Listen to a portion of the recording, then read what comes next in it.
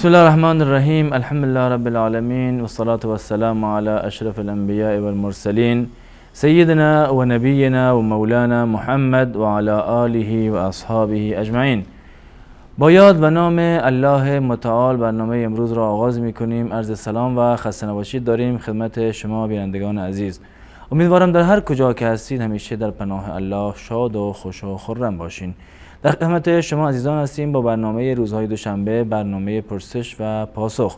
در این قسمت خدمت کارشناس در خدمت کارشناس محترم برنامه جناب مولانا عبدالقدوس دهقان هستیم که خدمت ایشان نیز عرض سلام و خسته نباشید داریم. بنده خدمت جناب علی و تمامی بینندگان عزیز سایل من در ادب و سلام دارم. السلام علیکم و رحمت الله و برکاته. و در خدمت جناب علی و بینندگان انشاءالله خواهم بود. سلامت باشین. بینندگان عزیز همونطور که می‌دونید چندین راه برای ارتباط با ما هست و از اینکه می‌تونید سوالای شرعیتون رو بفرستید که مهمترین آنها از طریق تماس تلفنی هست و بعد طریق SMS هست. سوالاتون رو از طریق SMS بفرستید. از طریق پیام های صوتی هست و می‌تونید از این راه ها که معمولا هم در زیرنویس برنامه زیر در پایین قسمت برنامه زیرنویس میشه می‌تونید از این راه ها تماس بگیرید و با ما سوالای شرعیتون رو اه، در میان بذارید و طبق روال معمول برنامه سالهای اس را می‌گیریم.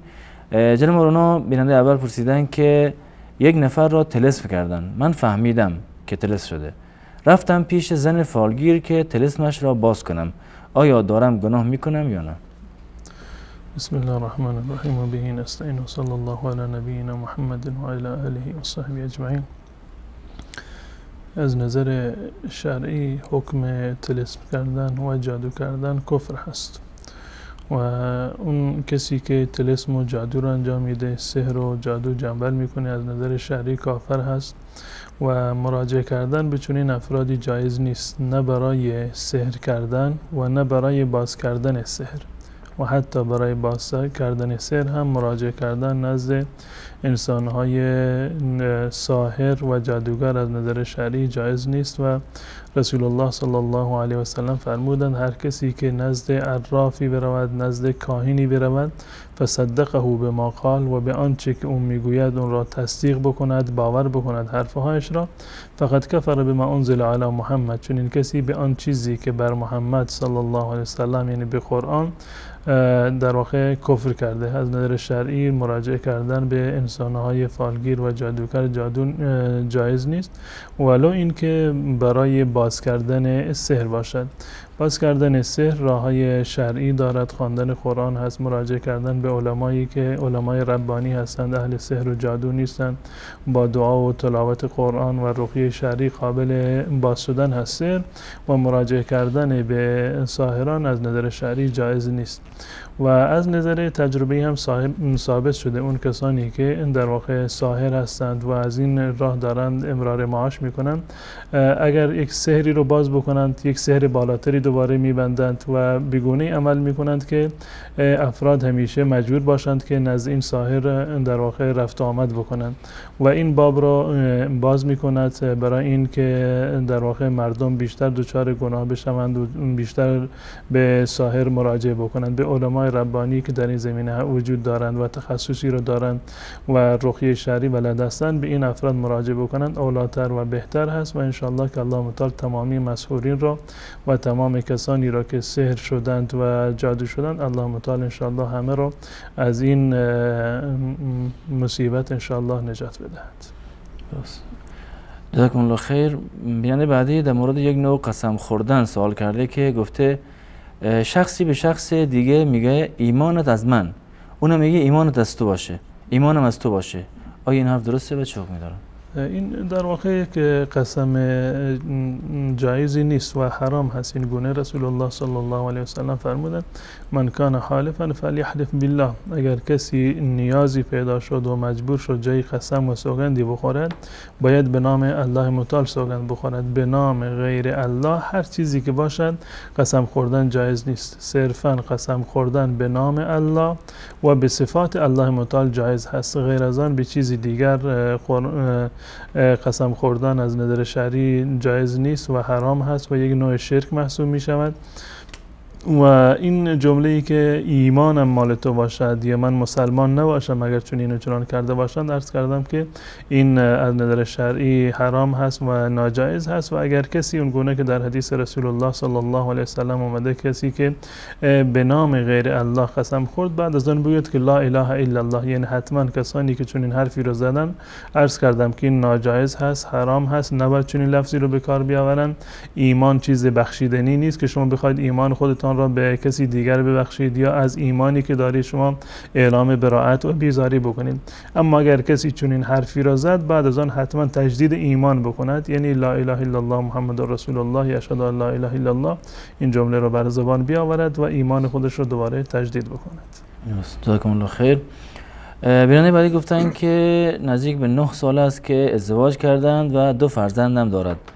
الان گفتن که مادر خانمشان گفته تو شیر من را خورده ای الان باید چیکار کنیم؟ در این مورد انسان باید در ابتدای اینکه هنوز ازدواج صورت نگرفته باید کاملا مراقب باشند بررسی بکنند ببینند شیر خوردند یا نخوردند. و بعد از آن ازدواج صورت بگیرد اگر شیر خورده باشند این دختر و پسر یعنی از یک مادری شیر خورده باشند که از نظر شرعی خواهر و برادر رضایی بشوند از همون ابتدا ولو اینکه یک مرتبه هم شیر خورده باشند ولو اینکه حتی مثلا ادعا شده باشند بهتر و اولاتر این است که اصلا چنین ازدواجی در واقع صورت نگیرد.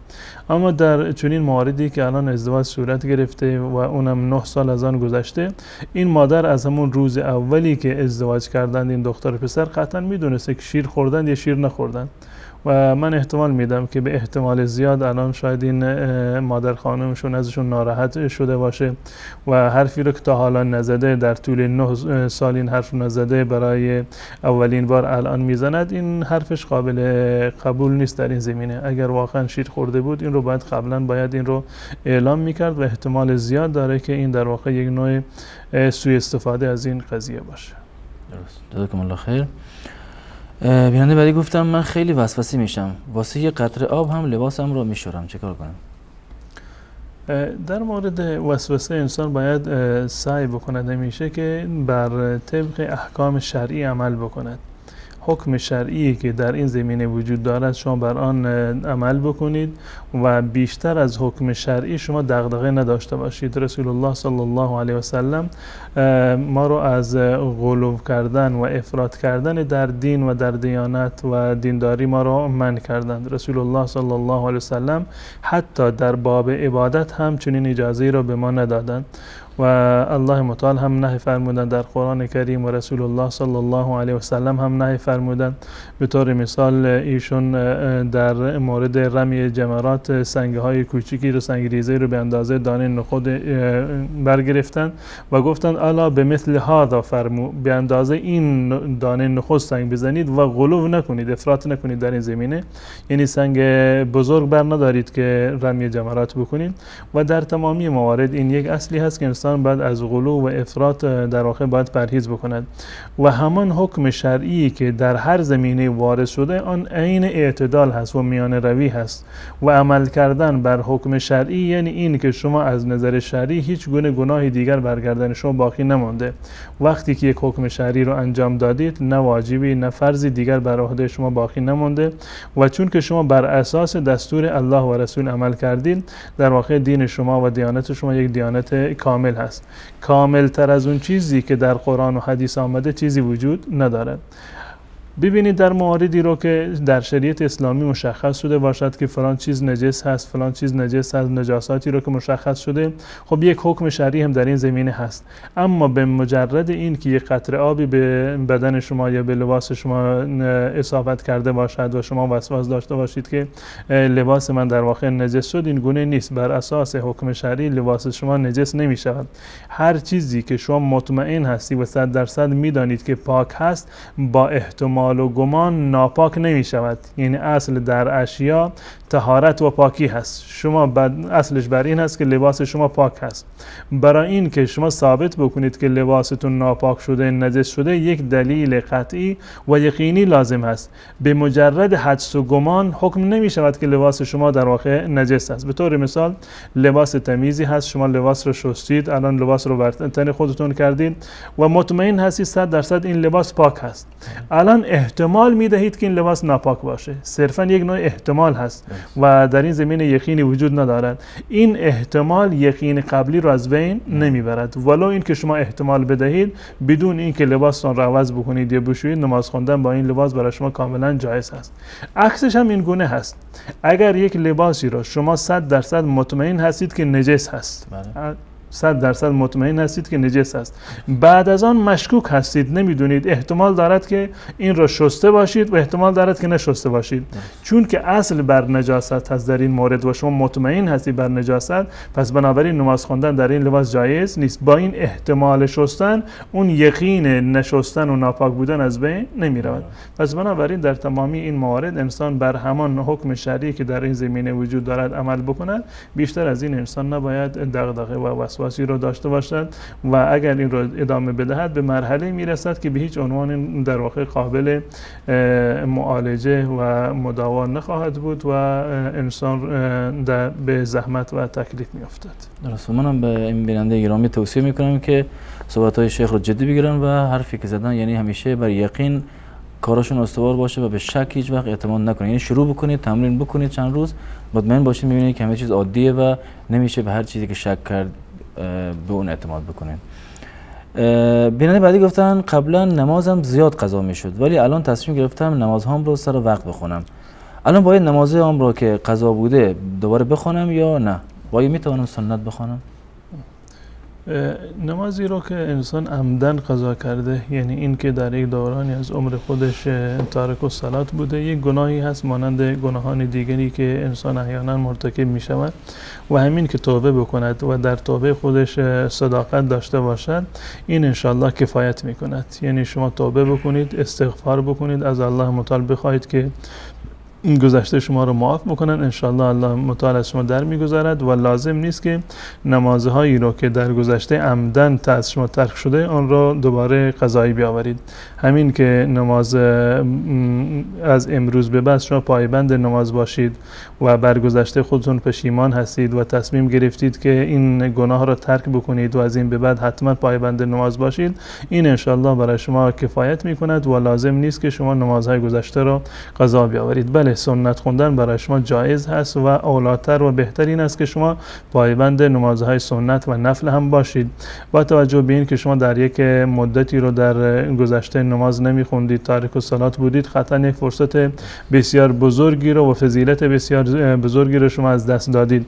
بعد از این از امروز به بعد و از اون وقتی که شما توبه کردید و پایبند نماز هستید سعی بکنید که نماز سنت و نفل انشالله بیشتر بخوانید تا اینکه گذشته شما جبران بشود اما این که یعنی نمازهای نفل خودتان را نمازهای سنت خودتان را به نیت فرضهای گذشته بخوانید. این قول برخی از فقها هست و به نظر من وجاهتی را ندارد. همین که انسان پایبند نماز فرض باشد مثل گذشته تارک و صلات نباشد نمازش رو سر وقت بخواند و بعد از آن این نمازهایی را که می‌خواند به نیت نفل یا به نیت سنت بخواند انشاءالله این جبران کننده دورانی خواهد بود که شما در آن دوران نماز نمیخواندید. درست انشاءالله جزاکم الله خیر بیننده بعدی گفتن آیا نیکی به پدر و مادر مشرک جایز است یا نه؟ قطعا نیکی به پدر و مادر چه مسلمان باشد یا مشرک باشد هر دو جایز هست و یک واجب و تکلیف شرعی هست. اگر مسلمان باشد حقوق مسلمانی و برادری مسلمانی و حقوقی رو که اسلام تعیین کرده این افزون بر اصل حقوق و واجباتی هست که پدر و پسر در مقابل همدیگر دارند ولو این که پدر در واقع کافر باشد و صاحب هما فی دنیا معروفا و این حکم شرعی هست که انسان باید پدر و مادرش رو در دنیا به اون احسان و نیکی بکند. و رسیدگی بکند اگر نیاز مالی دارد برایش دعا بکند و احسان و نیکی رو فراموش نکند. ولو این که پدر و مادر کافر باشند باز هم بر گردن فرزندان حق دارند و احسان و نیکی کردن در حق اونها یک وظیفه شرعی هست جزاکم الله خیر. بیان بعدی گفتن که لطفا بگید برای بچه های کوچک چه دعاهایی بخوانیم. دعایی مثل دعای چشم بد و دوری از حسد. رسول الله صلی الله علیه و سلم فرزندان خودشون رو و نوه هاشون رو حضرت حسن و حسین رضی الله تعالی عنهما رو همیشه در واقع رقیه شرعی می‌کردند. یعنی دعا میخوندند و بر اونها میده میدن تا اینکه از شر شیطان حفاظت بشوند. قبل از اینکه سوره های معوذتین نازل بشوند رسول الله صلی الله علیه و سلم دعای دیگری می‌خوند. اعیدکما بکلمات الله التامات. این دعا رو رسول الله صلی الله علیه و سلم میخوندند و دم می‌کردند میده میدن بر حضرت حسن و حسین رضی الله تعالی عنهما. و بعد از این که معوذتین نازل شد قل اعوذ برب الفلق و قل اعوذ برب الناس رسول الله صلی الله علیه و سلم این دو سوره رو میخواندند. دو سوره قل اعوذ برب الفلق و قل اعوذ برب الناس رو میخوندند و بر فرزندان خودشون میده میدن و امروزه مادران و پدران می‌تونند که این دو تا سوره را بخوانند و بر فرزندان خودشون انشالله بدمند. این باعث می‌شود که اونها از شر شیطان و از شر سحر و جادو و چشم زخم انشاءالله حفاظت بشوند. انشاءالله جزاکم الله خیر. بیانه بعدی گفتن که سجده صف چه موقع در نماز واجب میشه؟ سجده سهو همون گونه که از اسمش مشخص هست به خاطر سهو در نماز هست. درست. این اگر یک انسانی در نمازش دچار سهو و دچار اشتباه و خطایی بشود این خطا در واقع به وسیله سجده سهو جبران می شود و اسباب سجده سهو سه چیز هستند. اسباب سجده سهو یعنی مواردی که سجده سهو رو لازم می کنند برای انسان در نماز سه مورد هستند. اولین زیادت هست. یعنی این که انسان در نماز یک چیزی رو اضافی انجام داده باشد. به طور این به جای اینکه مثلا در یک رکعت دو مرتبه سجده بکند به جای دو مرتبه سه مرتبه سجده کرد. یا اینکه دو مرتبه رکوع کرد. حواسش نبود متوجه نشده بود و سه مرتبه سجده کرد. خلاص این که یک عملی رو در نماز اضافی انجام داد. اگر این عمدی باشد و قصدن باشد نمازش باطل هست. به طور مثال یک فردی به جای این که در هر رکعت یک رکوع بکند عمدن و قصدن به جای یک رکوع دو رکوع را انجام داد. این نماز نماز باطلی هست زیرا که برخلاف دستور الله و رسول الله صلی الله علیه وسلم انجام داده. اما اگر از روی سهو بود فراموش کرده بود و نمی‌دونست که دو سجده کرده یا در واقع سه سجده بوده. عملا می‌بینیم که سه سجده رو در واقع انجام داده باشه و بعدا متوجه شد که یک عملی رو اضافی انجام داده. یک سجده رو اضافی انجام داده داده یا یک رکوع اضافه انجام داده. حکمش این است که در آخر نماز و بعد سلام سجده سهو بکند. در آخر نماز سجده سهو بکند و علت این سجده سهو زیادتی در نماز است. یعنی یک یک از ارکان نماز و واجبات نماز را دو مرتبه در آخر در نماز تکرار کرده. این یک مورد هست و در این زمینه هم اومده روایتی در صحیح بخاری و مسلم هست از حضرت عبدالله بن مسعود که رسول الله صلی الله علیه و سلم یک رکعت اضافه خوندند. نماز ظهر یا عصر بود که ایشون پنج رکعت خوندند به جای چهار رکعت. و بعد از این که به ایشان گفته شد که شما پنج رکعت خوندید ایشون رو به طرف قبله نشستن دوباره و و سجده سهوی رو دوباره انجام دادن پس بنابراین هر کسی در نماز یک رکنی رو اضافه انجام داد یک رکعت رو اضافه انجام داد یک رکوع رو اضافه انجام داد یک سجده رو اضافه انجام داد حکمش این است که در آخر نماز بعد از سلام سجده سهو به جا بیاره. سجده سهو هم دو, دو سجده هست. دو مرتبه سجده بکند و بعد از اینکه از سجده در واقع بلند شد دوباره سلام بدهد. این در مورد زیادتی در نماز هست. علت دومش نقص در نماز هست. هست علت دومش نقص در نماز است این نقص در واقع فرق می کند که چی باشد. نقصی که در نماز انجام شده آیا جز ارکان نماز هست یا جز در واقع واجبات نماز هست. اگر یک کسی در یک نمازی یکی از ارکان نماز رو کم کرد به طور مثال به جای اینکه دو مرتبه سجده بکند یک مرتبه سجده کرد و دو مرتبه سجده نکرد. دو مرتبه سجده کردن و سجده به صورت کلی یکی از ارکان در واقع نماز هست. الان حکمش چی هست؟ اگر کسی که سجده ای رو انجام نداده به طور مثال رفت در رکعت اول و یک سجده رو انجام داد و بلند شد به رکعت دوم ایستاد. قبل از این که رکعت دوم رو انجام بدهد اگر بیادش اومد باید بازگردد دوباره در حالت سجده و سجده دوم رو انجام بدهد و بعد از آن بلند بشود به رکعت دوم. اگر یادش نیومد تا رکعت بعدی این رکعت بعدی به جای رکعت اول حساب میشه. این اون رکعتی که یک رکنی از ارکانش رو کم کرده اون به صورت کلی حساب نمیشه اون رکعتی رو که یک سجده در اون انجام داده گویا که اصلا اون رکعت را نخوانده. رکعت دوم جایگزینش هست نمازش رو به این صورت در واقع کامل بکنه. اما اگر یکی از واجبات رو ترک کرده باشد مانند این که فرض کنیم در تحیات دوم ننشسته باشد. بعد از دو رکعت در قعده و در اتحیات ننشسته باشد و بعدا بیادش اومد که در رکعت بعد از رکعت دوم تحیاتی رو نخونده و در قعده ننشسته. باز هم حکمش این است که سجده سهو بکند در آخر نماز.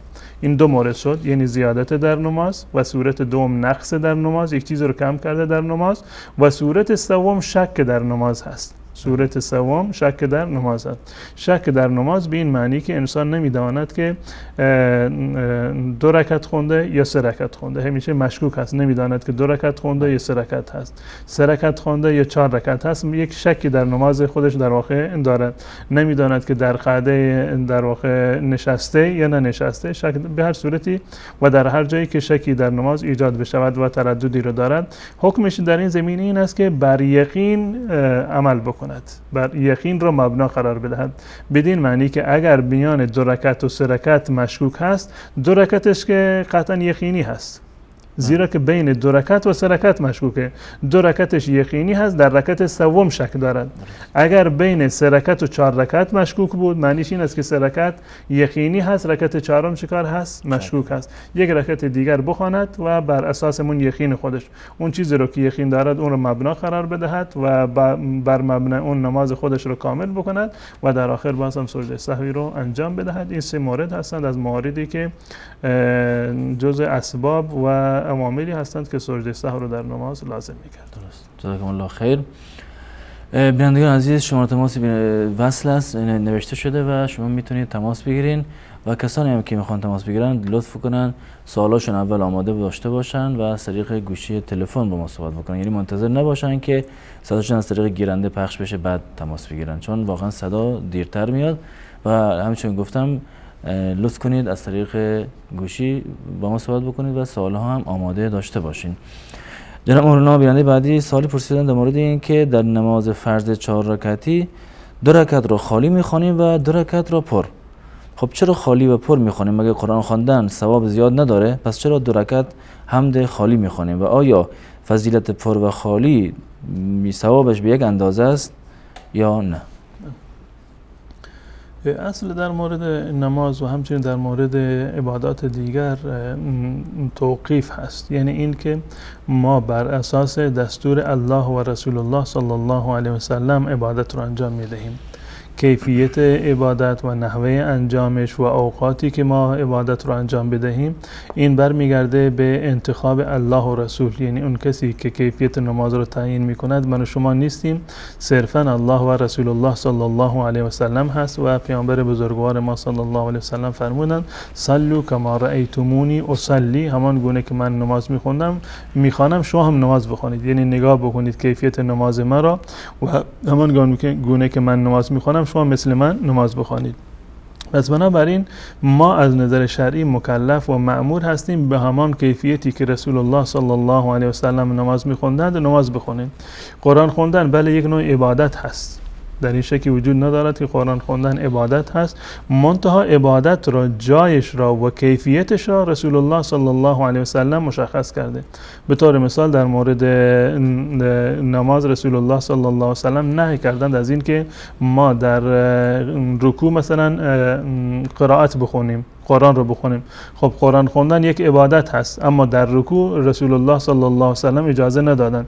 حتی خود نماز یک عبادت هست برترین عبادات و اساسی ترین رکن دین مبین اسلام هست. اما در اوقاتی هست که نماز خوندن جایز نیست. مانند مثلا وقت طلوع آفتاب وقت استوا وقت غروب آفتاب این اوقات ممنوعی هستند. با این که این نماز عبادت هست اما رسول الله صلی الله علیه سلم دستور دادند که نباید در این اوقات شما نماز بخوانید. در مورد مورد خواندن قرائت در نماز این هم از رسول الله صلی الله علیه و سلم کاملا ثابت هست روایت صحیح هست متفق علیه. در صحیح بخاری و مسلم اومده از حضرت ابو قتاده رضی الله تعالی عنه ان النبی صلی الله علیه و سلم کان یقرأ فی الرکعتین الاولین من الظهر والعصر بفاتحه الكتاب که ایشون که رسول الله صلی الله علیه و سلم همیشه در دو رکعت اول نماز ظهر و عصر فاتحه الکتاب و یک سوره دیگر رو میخوندند. فاتحة الكتاب وسورة ويسمعنا الآية أحيانا و رسول الله صلی الله علیه و سلم با اینکه نماز ظهر و عصر بود احیانا آیه را به سمع ما میرسوندند. با اینکه نماز نماز در آخر خفیه بود آهسته میخوندند اما باز هم احیانا رسول الله صلی الله علیه و سلم آیه را طوری میخوندند که بقیه که پشت سر هستن متوجه بشوند که ایشون دارند قرائت می‌خونند. یعنی هم فاتحه را می‌خونند و هم بعد از فاتحه قرائت و چند آیه رو در واقع می‌خونند و در ادامه روایت اومده و یقرأ فی الرکعتین الاخرین بفاتحه الکتاب و در دو رکعت آخر رسول الله صلی الله علیه و سلم صرفا و تنها فاتحه الکتاب را میخوندن این حدیث صحیح و صریحی هست و متفق علیه هست در بالاترین درجه صحت قرار دارد. از حضرت ابو قتاده رضی الله تعالی عنه هست که رسول الله صلی الله علیه وسلم در دو رکعت اول همیشه فاتحه الکتاب و یک سوره رو میخوندن و احیانا سوره ای رو که میخوندن با صدای بلند میخوندن تا اینکه ما بشنویم. با اینکه صلات نماز یک نماز در واقع سری بود و خفیتا میخوندن اما برای تعلیم و آموزش ما احیانا صدایشون بلند می‌کردن تا اینکه ما متوجه که ایشون قرائت می‌کنن اما در دو رکعت آخر ایشون همیشه اکتفا می‌کردن به صورت به سوره فاتحه. پس بنابراین ما هم باید طبق سنت رسول الله صلی الله علیه و و عملی که رسول الله صلی الله علیه و سلم انجام می‌دادن صلوا کما رأیتمونی اصلی. دقیقا مانند رسول الله صلی الله علیه و سلم باید نماز بخونیم. و این مذهب جمهور اهل سنت و الجماعت از مذهب امام ابو حنیفه امام مالک امام احمد ابن حنبل و بسیاری دیگر از فقها و جمهور فقهای اهل سنت و الجماعت نظرشون این هست. منتها اگر کسی در نماز احیانا سوری رو اضافه کرد اشکالی نداره. اگر کسی در نماز سری در دو رکعت آخر نمازش هم اگر سوره اضافه کرد باز در این زمین اشکالی نداره و سجده سهو بر انسان لازم نمیشه زیرا که در این صورت در این زمینه روایت دیگری هم وجود داره در صحیح مسلم هست از حضرت ابو سعید خدری رضی الله تعالی عنه که از اون استفاده می شود که رسول الله صلی الله علیه و سلم احیانا این کار رو انجام می‌دادند. احیانا این کار رو انجام می‌دادند. یعنی که در دو رکعت آخر هم احیانا سوره ای رو یا چند آیه رو در واقع میخوندند. اما کار اساسی رسول الله صلی الله علیه و سلم عادت اصلیشون این بوده که در دو رکعت اول هم فاتحه میخوندن به اضافه یک سوره دیگر و در دو رکعت آخر صرفا همون سوره فاتحه میخوندن و سوره دیگری را نمیخوندن. اما اگر کسی احیانا این کار را انجام داد یا سهوا این کار را انجام داد یعنی در دو رکعت آخر سوره رو خوند در این صورت سجده سهو لازم نمیشه زیرا که در این زمینه باز هم روایت دیگری هست و صحیح هست از رسول الله صلی الله علیه و سلم که احیانا این کار رو انجام می‌داد. درست. جزاکم الله خیر. بیانده بعدی گفتن که می‌خواستم بدونم 20 مسقال طلا یا 39 مسقال طلای گفتن ایرانی زکاتش چقدر است؟ اگر طلا ایشون 24 ایار هست 20 مسقال زکات دارد. 20 مسقال و بالاتر از 20 مسقال چون 20 مسقال یا 39 مسقالی که هستن. اگر طلایشون عیارشون 24 هست این زکات داره. یعنی نصاب زکات بنابر مسقال همون 20 مسقال هست که مساوی می شود با 85 گرم طلا. و اگر عیارشون 24 است در این صورت زکات لازم هست. و البته به شرطی که یک سال کامل بر این طلا گذشته باشد و به 20 مسقال که ایشون گفتند که رسیده اگر 19 مسقال باشد زکات ندارد. و اما وقتی که به 20 مسقال رسید زکات دارد و زکاتش دو و نیم درصد هست. یعنی کل قیمتش رو شما محاسبه بکنید که در بازار چه مقدار هست دو و نیم درصدش رو به عنوان زکات شما باید پرداخت بکنید. جزاکم الله خیر. بینندگان عزیز در اینجا با هم یک میان برنامه می‌بینیم. دوباره باز خواهیم گشت. در خدمت شما عزیزان خواهیم بود. با ما باشید.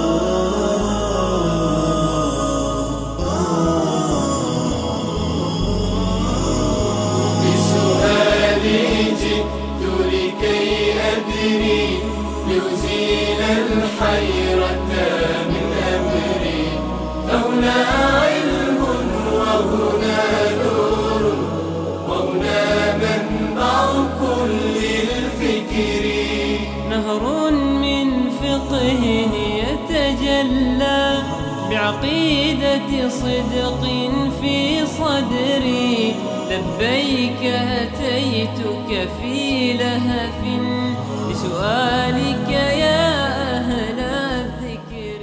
عرض سلام و خسته مجدد دارم خدمت شما بینندگان عزیز.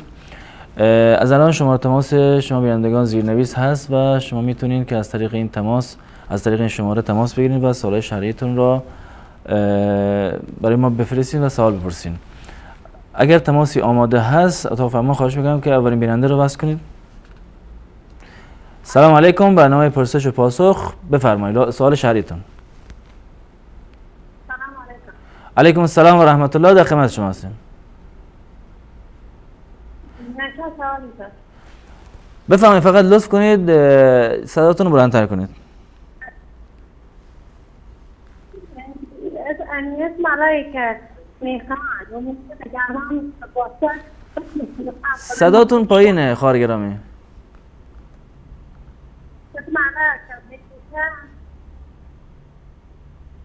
اگه میشه بلندتر صحبت کنید؟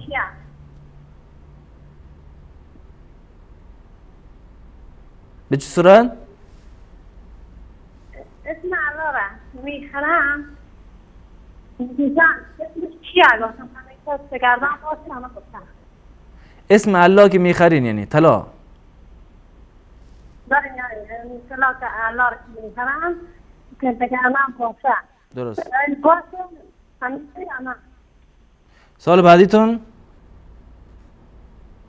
سال سال بعدی کسی که کار کردی قسم میدم بخور قسم می‌خورم اگر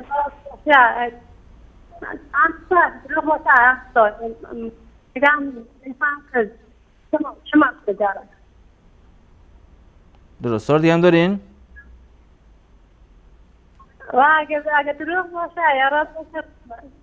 می‌کنم بخشید صداتون خیلی پایینه صداتون قطع وصل میشه متاسفانه اگر تونستین دوباره زنگ بدین سوال دومی بعدی را بپرسین.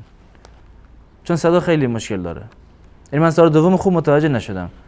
بیننده بعدی رو بگیریم سلام علیکم برنامه پرسش و پاسخ بفرمایید بعضی مردم ها میگن که یا پیری یا سیدی یا بزرگی فلان کسی که دعا بدوایی کرده یا سوخته یا پاش شکسته چشمش کلیه می‌خواستی به مولانا بپرسم که بدوایی به نهر می‌تونه به مردم بگیره یا نه سوال دیگه هم دارین الو سوال دوم اینه که مردم میگم که این عالم خود خودم اینجوری میگم که نماز مرد و زن چجوری فرق نداره؟ یک زن چطور می‌توانه شکل مرد نماز بخونه؟ هیچ موقع امکان نداره که یک زن مثل یک مرد نماز بخونه. من میگم عالم میگم که عالم خودم اینجوری میگم. درست. خدا سلام خدا نگهدار تماس بعدی بیننده رو بس کنید. سلام علیکم برنامه پرسش و پاسخ. سوال شهریتون لطفا. سوال ما این بود که همین مرد شرعی بعضی علما مثلا یک کمیته گذاشتن مثلا دو لک و هشتاد آ- واقعی مهریه. جای آمده. یعنی مهریه شرعی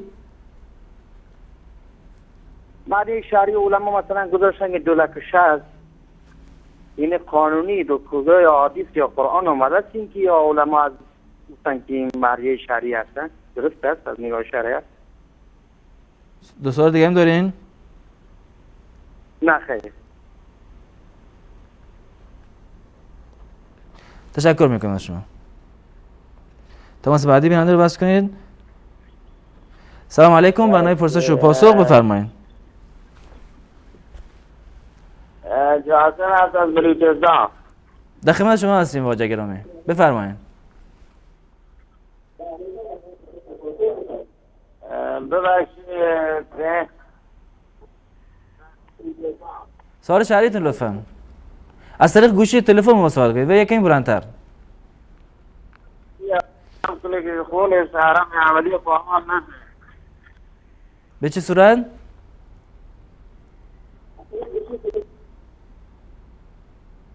برادر گرامی از طریق گوشی تلفن با ما صحبت کنید. تماس بعدی بیننده رو باز کنید. سلام علیکم برنامه پرسش و پاسخ بفرمایید. الو سلام علیکم خسته نباشید. سلامت باشین در خدمت شما یه هستیم. سوال یه یه سوال شرعی داشتم بفرمایید. دو تا سوال دارم. اول سوالم آیا فاتحه برای مرده می‌رسد؟ فاتحه برای مرده. فاتحه برای مرده می‌رسد. دومین سوالم من خودم معلول ختم هستم. درست. آیا بدون وضو بدون وضو نمازم می‌خونم؟ آیا نمازم درسته یا نه؟ سوال دیگه هم دارین؟ سوال دیگه ندارم. السلام علیکم و رحمت الله. سلامت باشین. خدا نگهدار شما. سلام علیکم. برنامه پرسش و پاسخ بفرمایید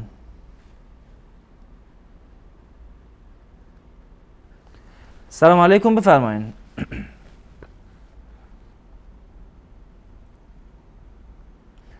من بینندگان دوباره خواهش می‌کنم که وقتی تماس گرفتن از طریق گوشی تلفن با ما صحبتشون ادامه بدن. منتظر نباشن سوالشون صداشون از طریق تلویزیون پخش بشه چون واقعا صدا دیر میاد و خودتون هم تجربه می‌کنید. این همیشه که وقتی که میگیم بعدا متوجه میشید که واقعا صدا دیرتر میاد. سلام علیکم. برنامه پرسش و پاسخ بفرمایید.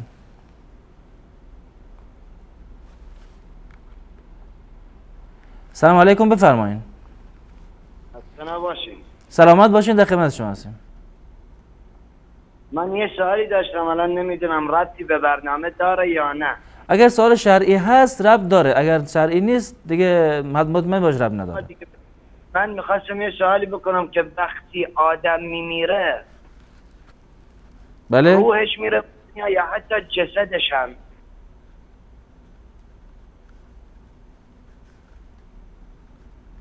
سوال دیگه هم دارین؟ همین. دستتون درد کنه سلامت باشین. انشالله پاسخ دریافت می‌کنین. سلام علیکم برنامه پرسش و پاسخ بفرمایید سلام علیکم بفرمایید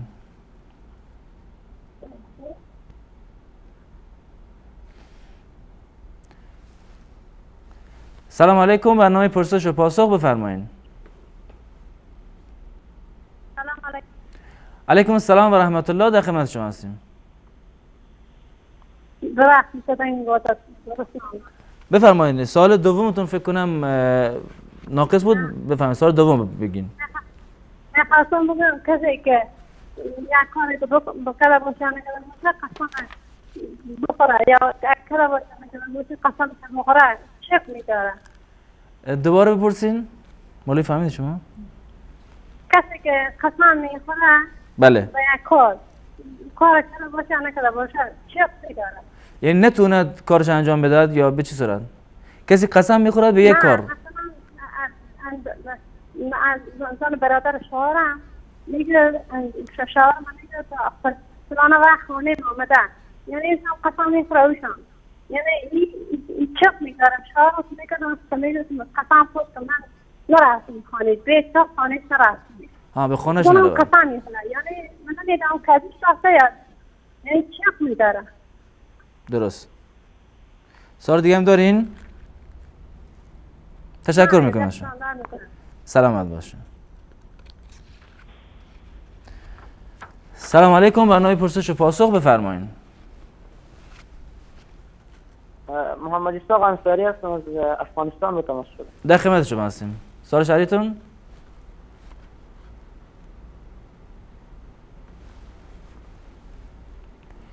سوال شهریتون لطفا. آقای انصاری. بفرمایید. بله می‌خواستم ما برنامه پاسخ وصل صدای شما الان وصله و سوال شهریتون رو بپرسین برادر گرامی. بله. می‌خواستم یک سوال کلاس در حال پخش است. شما فعلا از طریق گوشی تلفن با ما صحبت بکنید و سوال شهریتون رو بپرسین انشالله صدا پخش است. بعدا متوجه میشین. بله انشالله سوال تماس بعدی بیرم من از بینندگان دوباره خواهش می‌کنم که وقت تماس گرفتین منتظر نباشین صداتون از تلویزیون پخش بشه. چون واقعا دیرتر صدا میاد. الان خود آقای انصاری نگاه بکنید. آقای محمد یوسف که تماس گرفتن. ببینید که الان صدای خودتون دارین میشنوین. سلام علیکم. برنامه پرسش پاسخ بفرمایید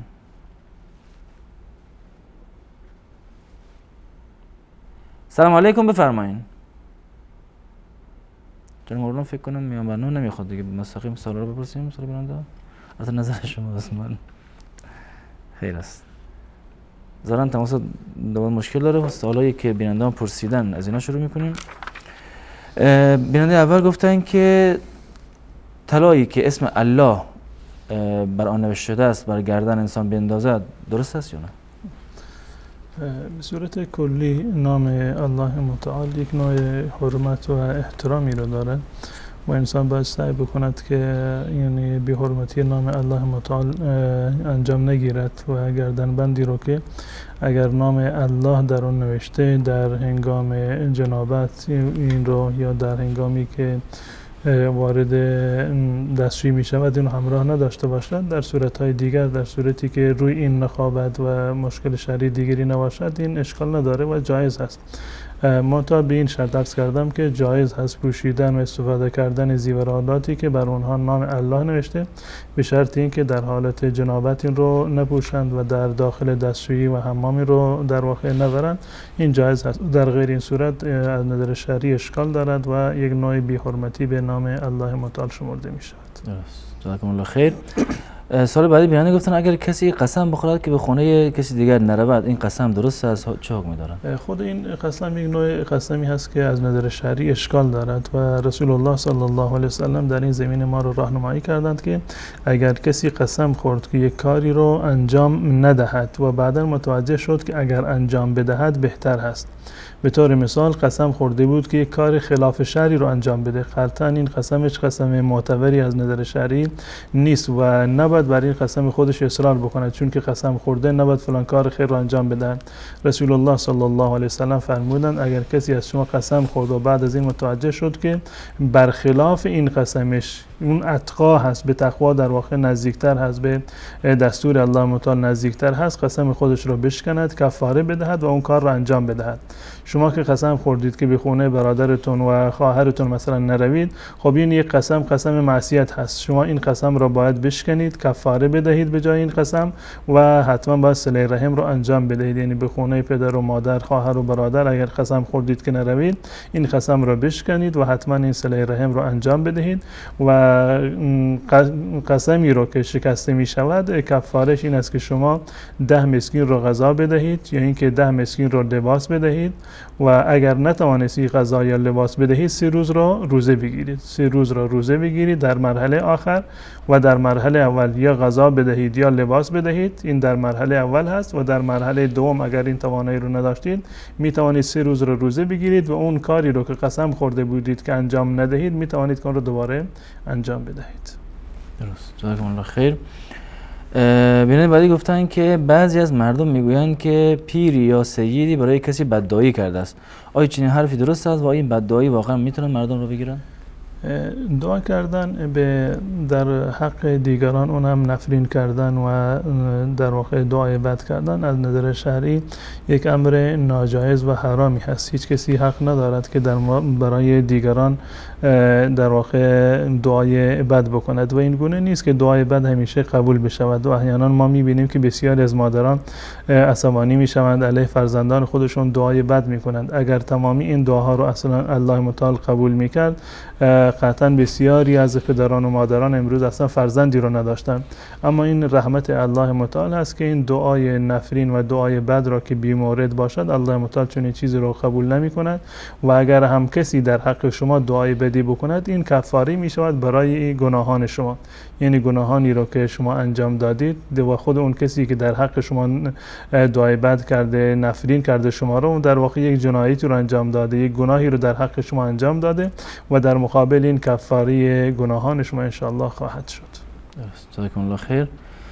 بیننده خود بیننده گفتن که می‌گوین که نماز مرد و زن چجوری فرق نداره با هم؟ یعنی آیا این امکان داره یا نه؟ اصلش بر این است که کیفیت نماز را رسول الله صلی الله علیه و سلم برای ما بیان فرمودند.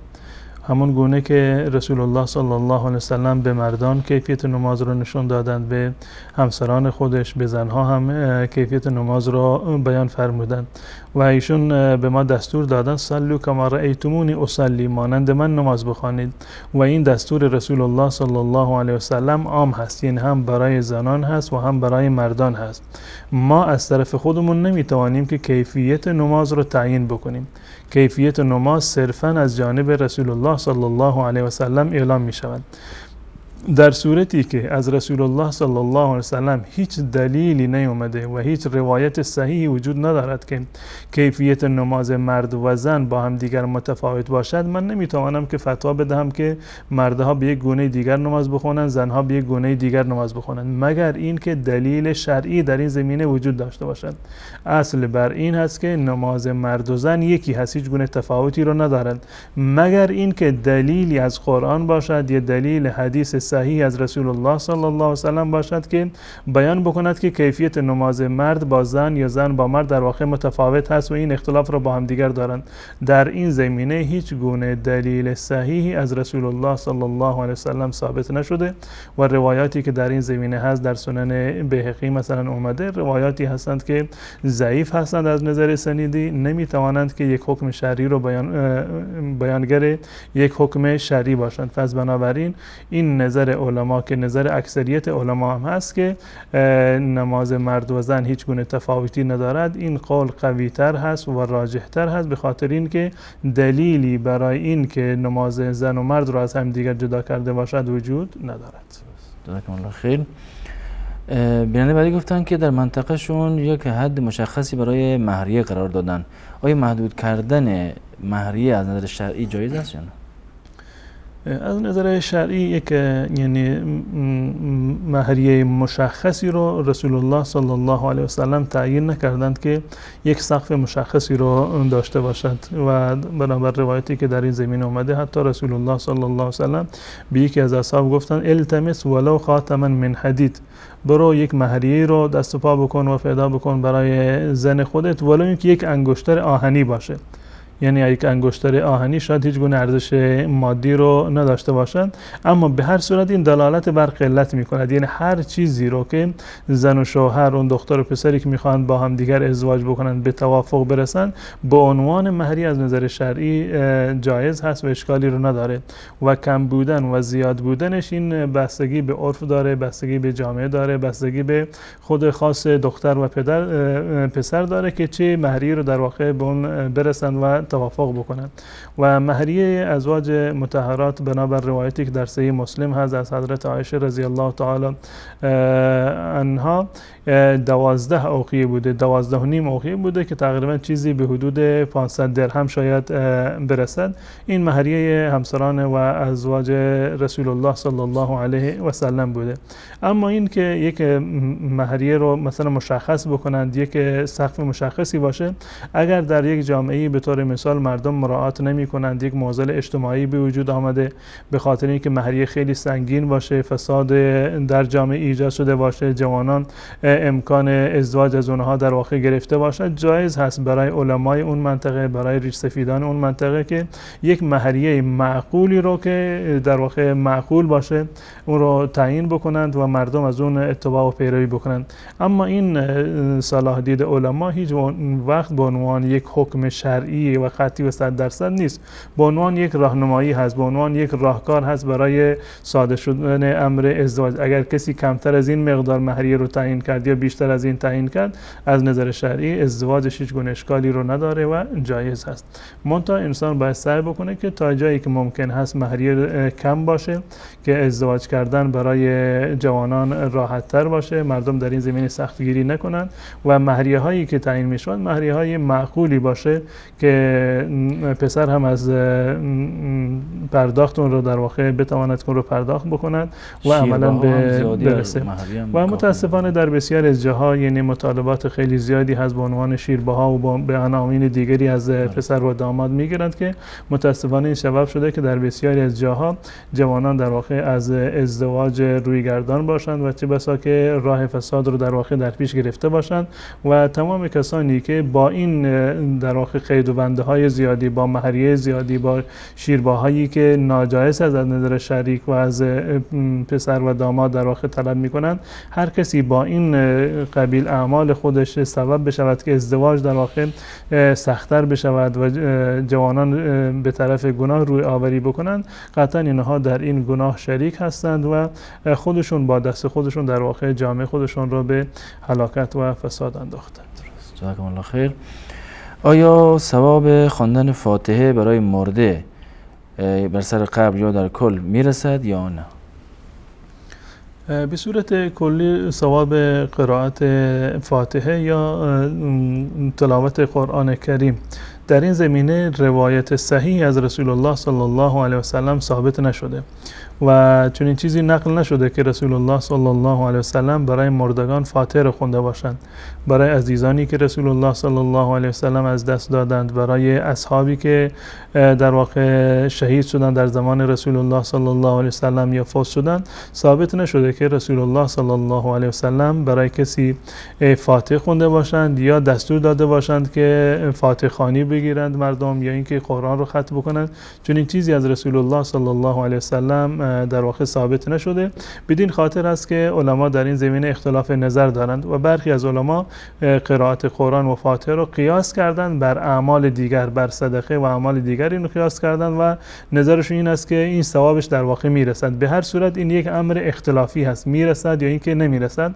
عرض کردم بنا بر روایاتی که از رسول الله صلی الله علیه و سلم ثابت شده این مطلب از ایشان نقل نشده که سوره فاتحه رو یا سوره های دیگری رو از قرآن برای مردگان رسول الله صلی الله علیه و سلم تلاوت کرده باشند و ایصال ثواب کرده باشند و اولاتر و بهترین است که ما بر طبق سنت رسول الله صلی الله علیه و سلم عمل بکنیم. ایشون در موقع فرمودند که یک وقتی که یکی از صحابه را دفن کرده بودند رسول الله صلی الله علیه و سلم فرمودند که استغفروا لاخیکم فانه الان یسال برای برادر مرده خودتون طلب مغفرت بکنید استغفار بکنید و نفرمودند که قرآن بخونید. و رسول الله صلی الله علیه سلم فرمودند وقتی که انسان از دنیا می رود این قطع عمل و این من سلاس اعمال انسان ختم می شوند مگر از در سه مورد. و یکی از این سه مورد را رسول الله صلی الله علیه و سلم ولد صالح یدعو له فرزند نیکوکاری که برای پدر و مادر دعا بکند.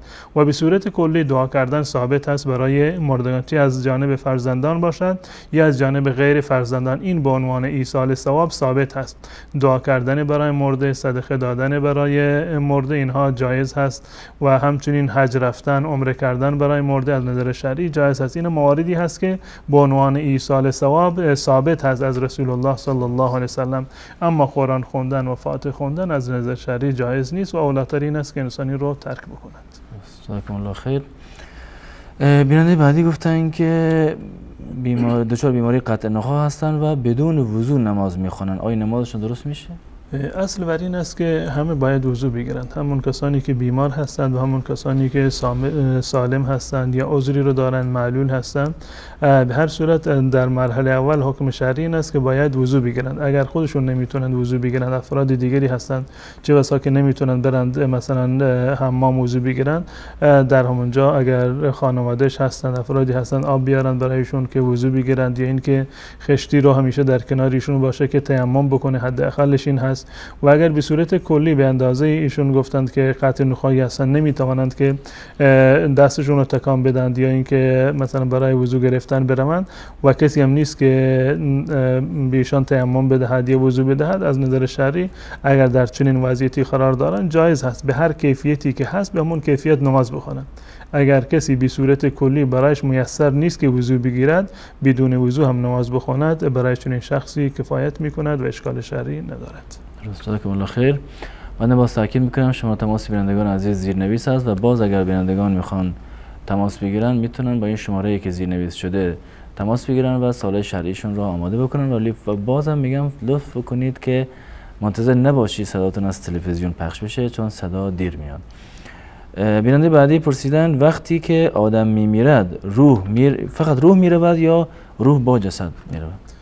قطعا این هم از نظر شرعی ثابت هست و هم از نظر تجربه ثابت هست که اون چیزی که در واقع از بدن جدا می شود اون همون روح هست که از بدن جدا می شود و می رود و جسد عملا در اختیار خود انسان هست که اون رو باید از نظر شرعی یکی از آخرین حقوق انسان هست که اون رو در واقع بروند و غسل و غسلش بدهند و کفن بکنند و دفنش بکنند که آخرین نماز جنازه آخرین حقی هست که یک مسلمان بر برادر مسلمان خودش دارد و جسد در اختیار من و شما هست. می‌تونیم آن رو غسل بدهیم و نماز جنازه بر اون می‌خونیم و این رو دفن می‌کنیم. جسد از بین یعنی از میان برداشته نمی‌شود. و اون چیزی که بالا می‌رود روح انسان هست. بدنش و جسدش در زیر قبر و در سیر خاک میماند و این در واقع خاک می‌شود اما روح به آسمان برده می‌شود و در روایتی هست که این بدن را فرشتگان در واقع می‌برند. اگر بدن انسان نیکوکاری بوده انسان صالح و مؤمنی بوده این روحش یک بوی بسیار خوش و معطری رو خواهد داشت و اگر انسان بدکاری بوده روحش بسیار بدبو خواهد بود و از همین بویش فرشتگان این رو می‌شناسند که این از اهل بهشت هست یا از اهل جهنم هست. این روح بالا برده می‌شد به طرف الله متعال و الله قضاوت می‌کنه در نهایتش که این روح را در بهشت ببرند یا اینکه در جهنم ببرند که الله متعال میفرماید که این رو در برایش در بهشتون رو فرش بکنید یا اینکه در جهنم برای جایی را آماده بکنند و در روایت اومده بعد از این که انسان رو دفن می‌کنند روحش به بدن بازگردانده می شود برای سوال سوالات معروفی که در قبر در واقع انجام می شود و از انسان پرسیده می شود اما به صورت کلی بدن در واقع در زیر خاک هست و از بین می رود و این روح هست که به بالا برده می شد به طرف الله متعال. که الله متعال در موردش قضاوت می کند که در بهشت باشد یا اینکه در جهنم باشد و منتها در نهایتش زمانی که قیامت برپا بشود و روز قیامت فرا برسد الله متعال دستور می دهد که تمام مردگانی که مرده بودند بدنشون دوباره باز می گردد به حالت اصلی و زنده می شوند و روحشون دوباره به بدن در واقع بازگردانده می شوند و با روح و بدنی که در واقع داشتند با بهترین و کاملترین شکل و صورت انشاءالله مسلمانان وارد بهشت خواهند شد و کسانی که شایسته جهنم هستند اونها رو هم الله متعال در جهنم عذاب خواهد کرد. خیر. بینندگان عزیز در اینجا با هم یک میان برنامه کوتاه می‌بینیم. دوباره باز خواهیم گشت. در خدمت شما خواهیم بود. ورد زبانم نام محمد. آرام جانم نام محمد. آرام جانم نام محمد. ورد زبانم نام محمد. ورد زبانم خدا نام محمد.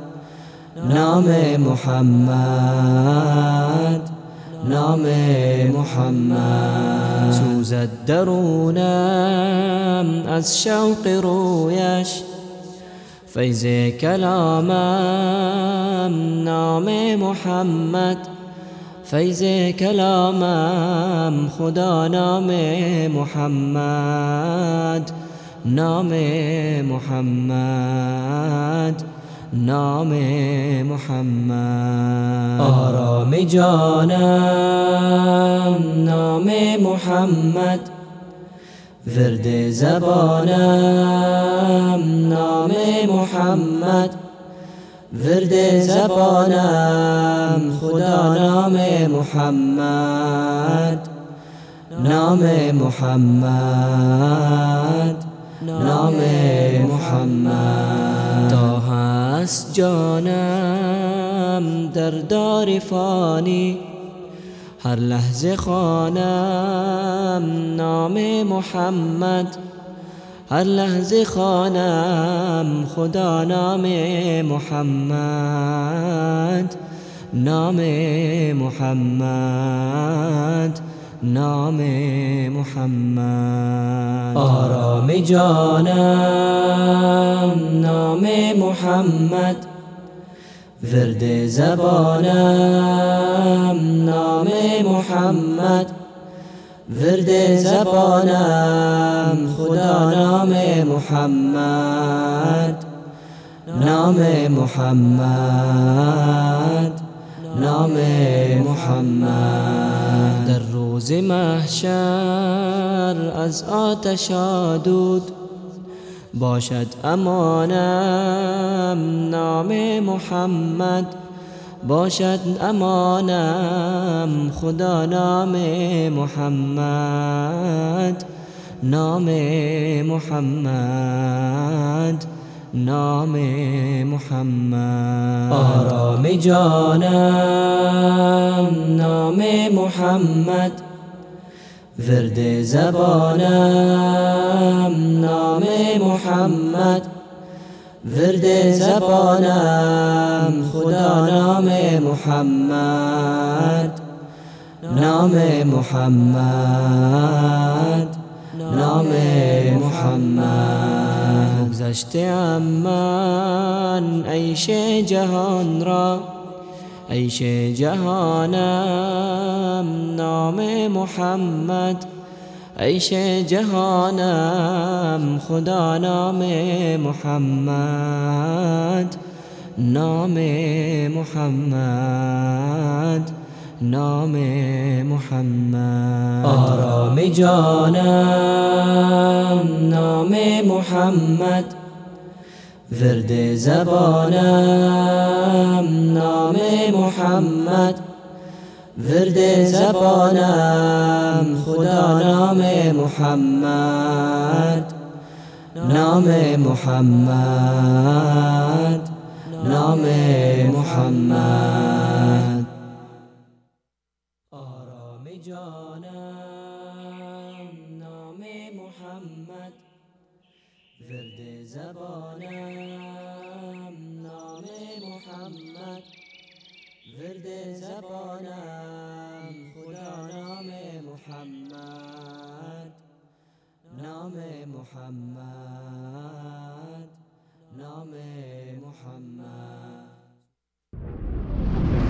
نور في الظلمات أنسي في خلواتي يا سعدي وهنائي القرآن ليس على الأعمى حرج ولا على الأعرج حرج ولا على المريض حرج ولا على أنفسكم أن تأكلوا من بيوتكم أن تأكلوا من بيوتكم أو بيوت آبائكم أو بيوت أمهاتكم أو بيوت إخوانكم أو بيوت أخواتكم. أو بيوت أعمامكم أو بيوت عماتكم أو بيوت أخوالكم أو بيوت خالاتكم أو ما ملكتم مفاتحه أو صديقكم ليس عليكم جناح أن تأكلوا جميعا أو أشتاتا فإذا دخلتم بيوتا فسلموا على أنفسكم تحية من عند الله من عند الله مباركة طيبة. كذلك يبين الله لكم الآيات لعلكم تعقلون. بر نابینا و لنگ و بیمار و نیز بر خود شما گناهی نیست که از خانه های خیش یا خانه های پدران مادران برادران اموها امه ها دایی ها خاله ها یا از خانه هایی که کلیدش در اختیار شماست و یا از خانه دوستتان چیزی بخورید. همچنان بر شما گناهی نیست که به طور دست جمعی و یا جداگانه غذا بخورید. پس هنگام ورود به خانه ها به یکدیگر سلام کنید که درود و شاد باشی خجسته و پاکیزه از سوی الله است. بدین سان الله آیات خود را برایتان بیان می کند تا بیندیشید. نور في الظلمات أنسي في خلواتي يا سعدي وهنائي القرآن حياتي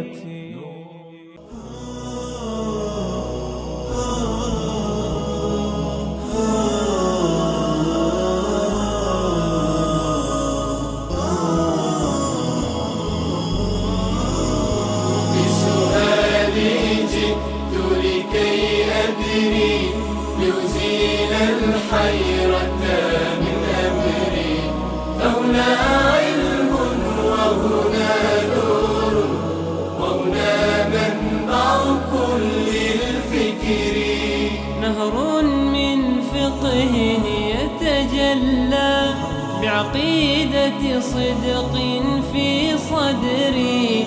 لبيك أتيتك في لهف. بسؤالك يا أهل الذكر. بسؤالك يا أهل الذكر. بسؤالي عرض سلام و خسته نباشید مجدد دارم خدمت شما بینندگان عزیز.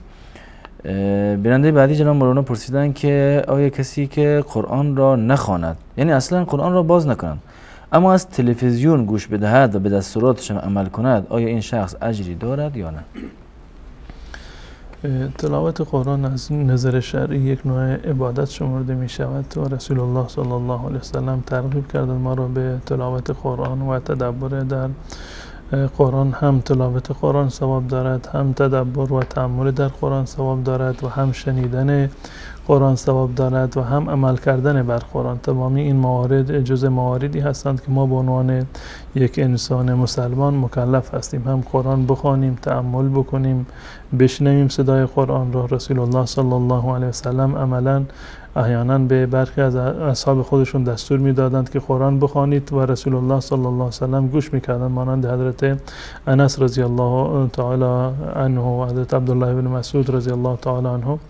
و تمامی این موارد از نظر شرعی ثواب دارند. رسول الله صلی الله علیه وسلم فرمودند که هر کسی که یک حرفی رو از قرآن بخواند الله متعال در مقابل هر حرفی هر ده نیکی خواهد داد و هر یک نیکی خواهد داد و هر نیکی ده برابر در واقع شمرده می شود. یعنی در مقابل هر حرفی الله متعال سی ثواب به انسان مسلمان انشالله عنایت خواهد کرد. یک فضیلت بسیار بزرگ و زیادی هست برای کسانی که قرآن رو تلاوت می کنند و در آن تدبر می کنند اما اگر کسی وقت نداشته باشد که قرآن تلاوت بکند یا اینکه نتواند که قرآن رو تلاوت بکند به جان قرآن رو بشنود باز هم انشالله یعنی ثواب دارد و بر قرآن رو میشنود به آن تأمل می کند بر آن عمل می کند و مهمتر از خود تلاوت قرآن یا شنیدن قرآن عمل کردن بر احکام قرآن هست.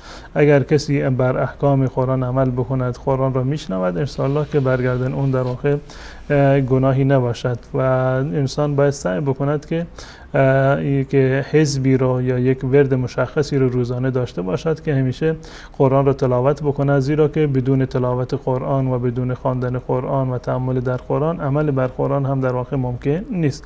پس بنابراین انسان مسلمان هر روز باید قرآن را مطالعه بکند تلاوت بکند و تأمل بکند در قرآن احکام قرآن را یاد بگیرد و بر آن انشاءالله عمل بکند. درست. بینندگان عزیز شما تماس هم وصل است یعنی نویز نویس شده است و کسانی که می‌خوان تماس بگیرن می‌تونن دوباره سوال شرعیشون رو بپرسن. اتاق فرمان اگر تماسی هست تماس بیننده رو وصل کنید. سلام علیکم بفرمایید بیننده گرامی. خوب هستین و سلامت باشید. ما یک سوال داشتیم از مولای صاحب بفرمایید. ما کسی قرآن را از رو یاد داره وقت پیدا نمی‌کنه که از روی نیراک نه کار و بار و اونایی که یاد داره از یاد می‌خوانه هر روزه همین حقوق قرآن خلاص میشه یا میمانه درست. امیر از. از مولای صاحب عبدالقدوس می‌خوانیم یعنی سوالتون چجوری بود؟ متوجه شدین؟ بله. یعنی حق قرآن سوال ما همین؟ بود. که حق قرآن ادا شده یا نه؟ یاد داره از روی قرآن می‌خواه قرآن خواندن یاد داره؟ بله بله. وقت نداره که این از قرآن یلا کده و تلاوت کنه. این یک دو شاید یک سو پاره یا نیم پاره یا دو پاره یاد داشته باشه از یاد بخوانه. درست. امی حقوق قرآن ادا میشه یا؟ سال واضح سال دیگه هم دارین؟ نه جا تشکر است سلامت باشین. تشکر می‌کنم. آره. اگر تماس دیگه هست بفرمایید سلام علیکم. برنامه پرسش و پاسخ بفرمایید السلام علیکم ببخشید خواستم باز کنم. سلامت باشین در خدمت شما هستیم. بفرمایید سوالتون؟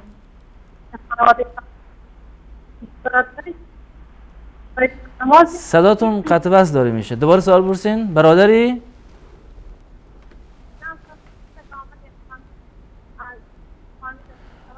اگر دوباره تماس بگیرین بهتره چون که صداتون خرابه. سلام علیکم برنامه پرسش و پاسخ بفرمایید خسته نباشیم سلامت باشین در خدمت شما. من ببخشید من سوالم این بود که بهترین تفسیر از دیدگاه شما کدوم تفسیره؟ بهترین تفسیر. بعد اه، چیکار کنیم؟ بله بعد به نظر شما چیکار کنیم که از غیبت دورتر باشیم؟ دوری از غیبت. بعد کسی که قرآن رو بله کسی که قرآن رو می‌کنه فراموشش فراموش می‌کنه چیکار کنه؟ اه، چیکار کنه دوباره یادش بیاد؟ بعد گناهش گناه کسی که قرآن فراموش می‌کنه برامون بیان کنید. ممنون میشم. درست. تشکر می‌کنم از شما. خدا شما. سلامت باشه سلام علیکم. برنامه پرسش و پاسخ بفرمایید سلام علیکم و رحمت الله علیکم السلام و رحمت الله و برکاته. در خدمت شما هستیم. ما یک سوال داشتم از استاد محترم در مورد حق میراث. حق میراث. بله امی فرزند که در پیش روی پدر یعنی پدر زنده فرزندش فوت می‌کنه این حق نمی‌بره دلیلش بر چی است گرفت سوال ما را بله؟ بله یعنی وقتی یک پدر زنده است فرزند که واضح است درست آه، تشکر ما از تلویزیون سلامت باشین تشکر می‌کنم از شما خدا سلامت باشین سلام علیکم برنامه پرسش پاسخ بفرمایید سلام علیکم بفرمایید الو سلام علیکم خسته نباشید. سلامت باشین در خدمت شما هستیم. یک دوست دو تا سوال داشت بفرمایید سال اولتون. اولا برایم دعای خیر کنید. 27 سال سندانم قطع نقاه هستم دعای خیر درست. دوم سوالم آیا سنت است یه لیوان آب بسته نفس بخوری سنته؟ سال بعدی؟ سوال بعدی. آیا جایز است؟ اه، یه لیوان آب بسته نفس بخوری سنت است درست. یعنی سال سوم؟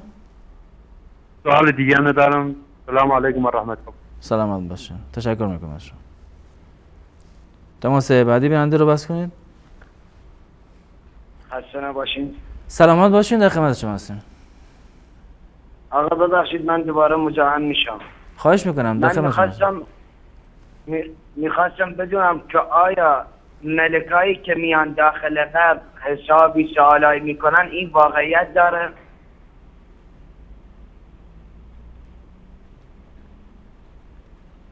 سال دیگه هم دارین؟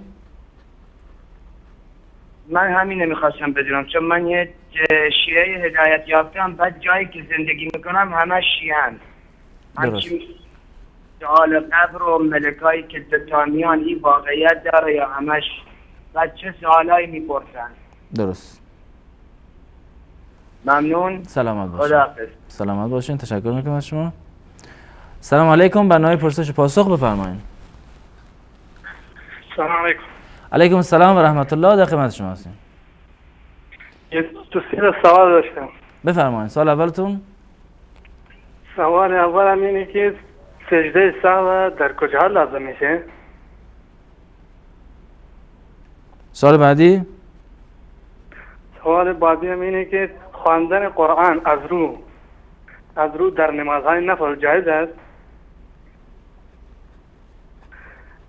سوال سوم هم اینه که بهترین ذکر در نزد خداوند کدام است؟ بهترین ذکر در در نزد خداوند جل جلاله او کدام ذکر است؟ سوال دیگه هم دارین؟ نه دست شما در نگونه خیلی ممنون. سلامت باشین. تشکر می‌کنم از شما. اگر تماس دیگه هست تماس بنده رو بس کنین. سلام علیکم. برنامه پرسش و پاسخ بفرمایید سلام علیکم. بفرمایید فقط انشالله صداتون خوب باشه که بتونیم بشنویم. تماستون. می‌خواستم از شده که خانه از شما که بالای شما. دوباره دوباره بگین چون صدا قطع داره میشه مشکل اینه یعنی قطع و وصل میشه. تکه تکه داریم داریم میشنویم. نماز نمی‌خوانن. نماز نمی‌خوانن.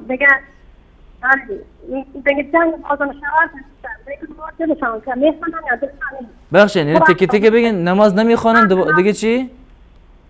روزه هم نمی‌گیرن. روزه هم نمی‌گیرن نه نه روزه می‌گیرن نه نم- نماز می‌خوانن خانواده شوار دیگه یعنی اجاره دارن بله بله. خیلی رفتم الان قسمت آخر سوال چیه؟ یعنی سوال چیه الان؟ میگه تو رفت آمد تکلیف نشان دیگه می‌خوانن دلشان رفت آم... رفت آمد با آنها؟ ولی رفت آمد با آنها؟ آره میگه تو شما میگه تو رفت آمد تو حتما بگو. رفت آمد. دلشان نه من میگم نه وقتی که من بود میان کنی زیر مادشان بیرون بکشم پس من نمیره خونه کنم می‌خواستم بگم که آره جوی فرق که کنی آدم ها بشنانم بخیر چی بود یا نه درست تشکر می‌کنم از شما شما سلامت باش تشکر می‌کنم از شما و تمام. خاطر یه حرفی که هستم سلامت باش بگم که خیز داشته باشن یا نباشن من این خانواده بزرگ نشده خانواده شما رو واری ما هست- ما هستم. ولی دیگه شانس دیگه خانواده خراب هست دیگه بله. تشکر می‌کنم از شما. آخرین تماس بیننده رو بس کنید. سلام علیکم. برنامه پرسش پاسخ بفرمایید سوال داشتم قربان. حال شما خوبه؟ سلامت باشین. در خدمت شما هستیم استاد یه سوال داشتم. مثلا کسی پولی در بانک بذاره اون بعد صدا سود بهش بدن یه سودش خودش استفاده نکنه به فقرا بده.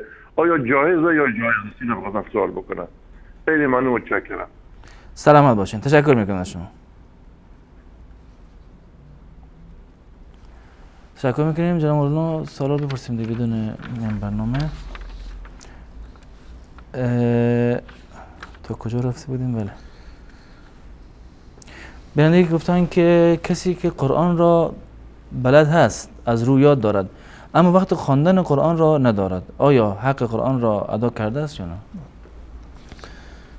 از نظر شهری هر آدم که یک انسان مکلف هست که قرآن را در واقع تلاوت بکنند به خاطر اینکه یک نوع عبادت هست و فضیلت بسیار بزرگی رو دارد و ترک کردن قرآن به صورت کلی یکی از انواع حجر و ترک شمرده می شود که از نظر شرعی جایز نیست و یک گناه شمرده می شود. و رسول الله صلی الله علیه وسلم به ما دستور دادند که اقرأ القرآن فانه یأتی شفیعا یوم القیامه قرآن رو شما تلاوت بکنید و بخوانید که در روز قیامت قرآن به عنوان شفیع شما در روز قیامت انشاءالله خواهد آمد. و یک نقطه ای که در این زمینه هست و که بیننده دیگرمون هم به اون اشاره کردن این هست که فراموش شدن قرآن این که من فراموش کردن در روایتی بله قبلا حفظ کرده یا بعدا از یادش رفته رسول الله صلی الله علیه و سلم ما رو از این نهی کردند که بگید من فراموش کردم. این این جمله فراموش کرده ام این از نظر شرعی اشکال دارد. انسان باید این جمله و تعبیر درستش این است که از یادم رفته. از یادم رفته و این گونه که من فراموش کردم گویا یک عملی هست که رو به خودش نسبت می‌دهد که گویا عملا و دیده و دانسته و عمدن رو در واقع فراموش کرده باشه. که رسول الله صلی الله علیه وسلم فرمودند که بئس ما لاحدهم یقول نسیت آیت کذا و آیت کیت و کیت. این بسیار بد هست که انسان بگوید که من آیه فلان و فلان آیه رو من فراموش کردم. بل هو نسی یا اونسیتو باید بگه که از یادم رفته فراموش من شده یا فراموش کرده شدم. یعنی اینکه شیطان از یاد من برده این تعبیر درست است. هست که رسول الله صلی الله علیه وسلم ما رو گفتن این تعبیر رو بکنید از یاد من رفته یا از یادم برده شده که شیطان این از یادم برده این تعبیر دقیق تر هست. و این تعبیر نکنید که من قرآن رو فراموش کردم. رسول الله صلی الله علیه وسلم در آخر این روایت که در صحیح بخاری و مسلم هست فرمودند استذکر القرآن فله اشد تفصیا من صدور الرجال من النعم فی من عقلها. که قرآن را یعنی همیشه بخوانید و تلاوت بکنید بار بار تلاوت بکنید زیرا که این قرآن مانند یک حیوانی که در بند باشه اگر بندش را شما باز بکنید از فرار می کند و گم می شود این قرآن هم این گونه هست. خیلی زود در واقع از یاد انسان می رود و از بنابراین نیاز به مذاکره و نیاز به مراجعه کردن و مرور کردن حفظ در واقع دارد. اما اینکه انسان حافظ هست از روی حفظ می‌خواند یا اینکه از روی موبایل می‌خواند یا اینکه همزمان از تلویزیون رو گوش می‌کند. این هم یک نوع تعهد هست و یک نوع در واقع مذاکره و مرور کردن قرآن هست و لازم نیست که حتما انسان باید قرآنی رو که چاپ شده اون رو بگیرد و اون رو باز بکند و مطالعه بکند. بالفرد اگر در خونه قرآنی هم وجود داشته باشد بسیار از مردم فکر می‌کنند که اگر این قرآن رو بر ندارند دهانش رو به خود معروف باز نکنند مطالعه نکنند این گناه داره. نه اگر شما حافظ قرآن هستید لازم نیست که از قرآن از روی قرآن تلاوت بکنید. یا اینکه عادت کردید از روی موبایل یا از صفحه مانیتور مطالعه می‌کنید و تلاوت می‌کنید باز هم هیچ گونه اشکالی و ممانعت شرعی نداره. شما که از روی حفظ خودتان می‌خونید یا از روی موبایل می‌خونید یا قرآن را گوش می‌کنید انشاءالله که مشمول وعیدهایی که در این زمینه آمده نباشید و هیچ حقی از قرآن برگردن شما باقی نمونده در مورد تلاوت قرآن و میمونه فقط همون عمل کردن بر احکام قرآن. درست. جزاکم الله خیر. و باز سوال در مورد قرآن است. بهترین تفسیر قرآن. گفتن نظر شما چه تفسیری؟ بهترین تفاسیری که در این زمینه هستند در میان اهل سنت و الجماعت بهترین تفسیر تفسیر امام تبری رحمت الله هست ابن جریر تبری که تفسیر بالمأثور هست یعنی برگرفته از احادیث رسول الله صلی الله علیه وسلم هست و قرآن را با قرآن تفسیر کرده و در مرحله دوم تفسیر ابن کثیر رحمت الله علیه جزء تفاسیر معصور و که تفاسیری که با احادیث تفسیر شده بهترین تفسیر شمرده می شود هم تفسیر تبری که خیلی مفصل هست و مختصرتر از اون تفسیر در واقع امام ابن کثیر رحمت الله ابن کثیر دمشقی رحمت الله علیه هست اینها که خلاصش ترجمه شده به زبان فارسی و همچنین تفسیری که به زبان فارسی ترجمه شده به نام تفسیر آسان یا تفسیر راستین که تفسیر مختصری هست در سجل هست به ترجمه فارسیش و اصل عربیش در یک جلد هست. شیخ عبدالرحمن سعدی رحمت الله علیه یکی از معتبرترین تفاسیر و در این حال مختصرترین تفاسیری هست که به زبان فارسی در واقع ترجمه شده و در بازار هم وجود داره. جزاکم الله خیر. سال بعدی بیننده گفتن راه دوری از غیبت چیه؟ انسان باید یعنی در زمینه غیبت و همچنین موارد دیگری که باعث می شوند که انسان اعمال نیک خودش را از دست بدهد بهترین انگیزه برای ترک غیبت این است که انسان سرانجام غیبت را یعنی مد نظر داشته باشد. وقتی که شما غیبت می‌کنید بدگویی می‌کنید از یک انسانی به شما چی می‌رسد؟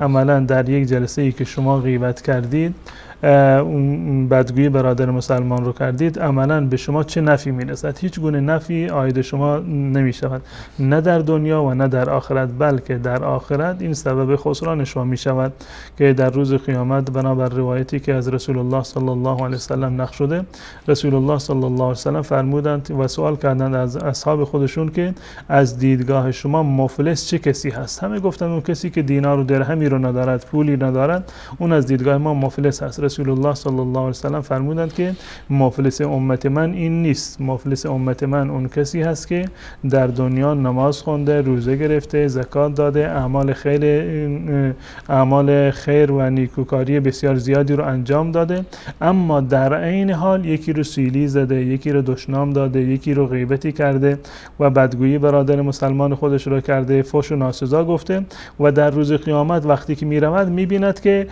طلبکاران خیلی زیاد هستند. این کسانی که امروزه در دنیا شما غیبت اونها رو می‌کنید بدگویی می‌کنید فش و دشنام می‌دهید تهمت می‌زنید تمام اینها در روز قیامت طلبکار هستند و در روز قیامت حساب و کتابی که می‌شود با, پول و درهم و دینار نیست. از نیکی های شما می‌گیرند. رسول الله صلی الله علیه وسلم فرمودند که فیعطا هذا من حسناته و هذا من حسناته هر کسی از شاکیانی که در روز قیامت بیاند از شما شکایت بکنند از نیکی های شما به اون داده می شود رسول الله صلی الله علیه وسلم در تعریف مفلس اینو فرمودند که طلبکاران همه میاند یکی میاد میگه که پروردگار را به من سیلی زده.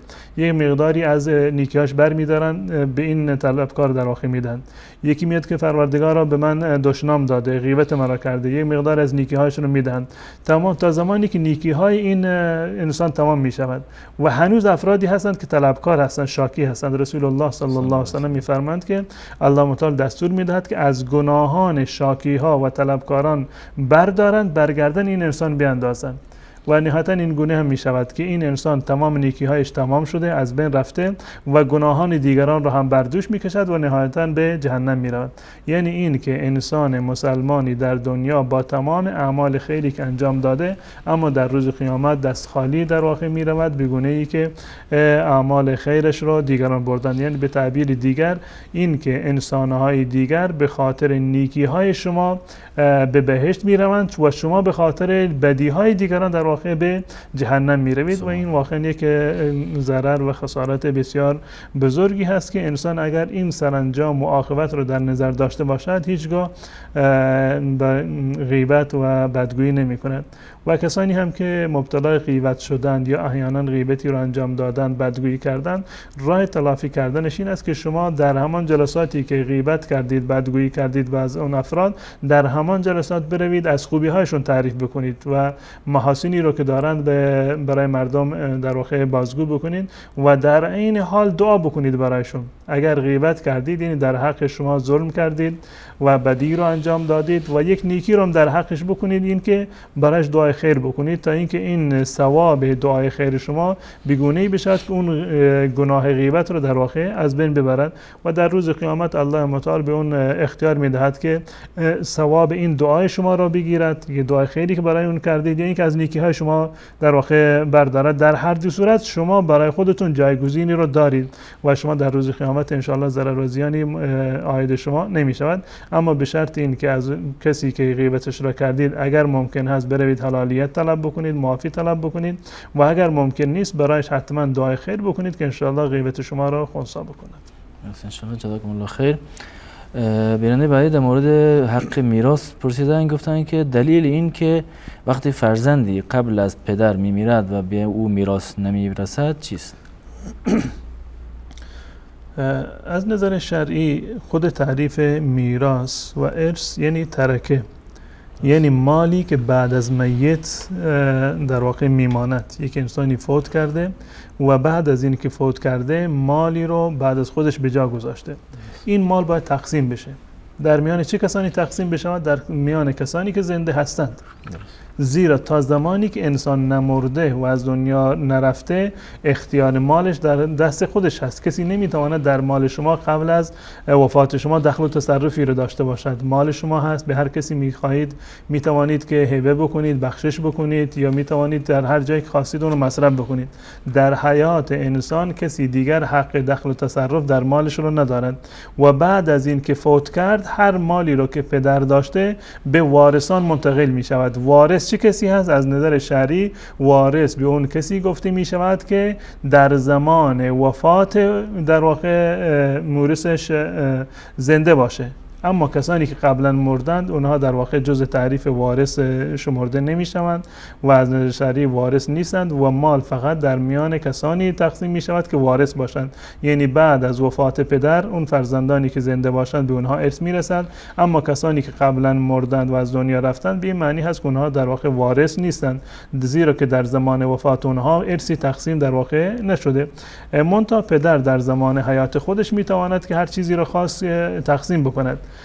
به طور مثال یک پدری فرض کنیم یکی از فرزندانش فوت کرده و اون فرزندش فرزندانی داره. یعنی این به پدر می‌تواند که به نواهای خودش در حیات خودش بخشش بکند یک بخشی از مال خودش رو به اونها در واقع اختصاص بدهد.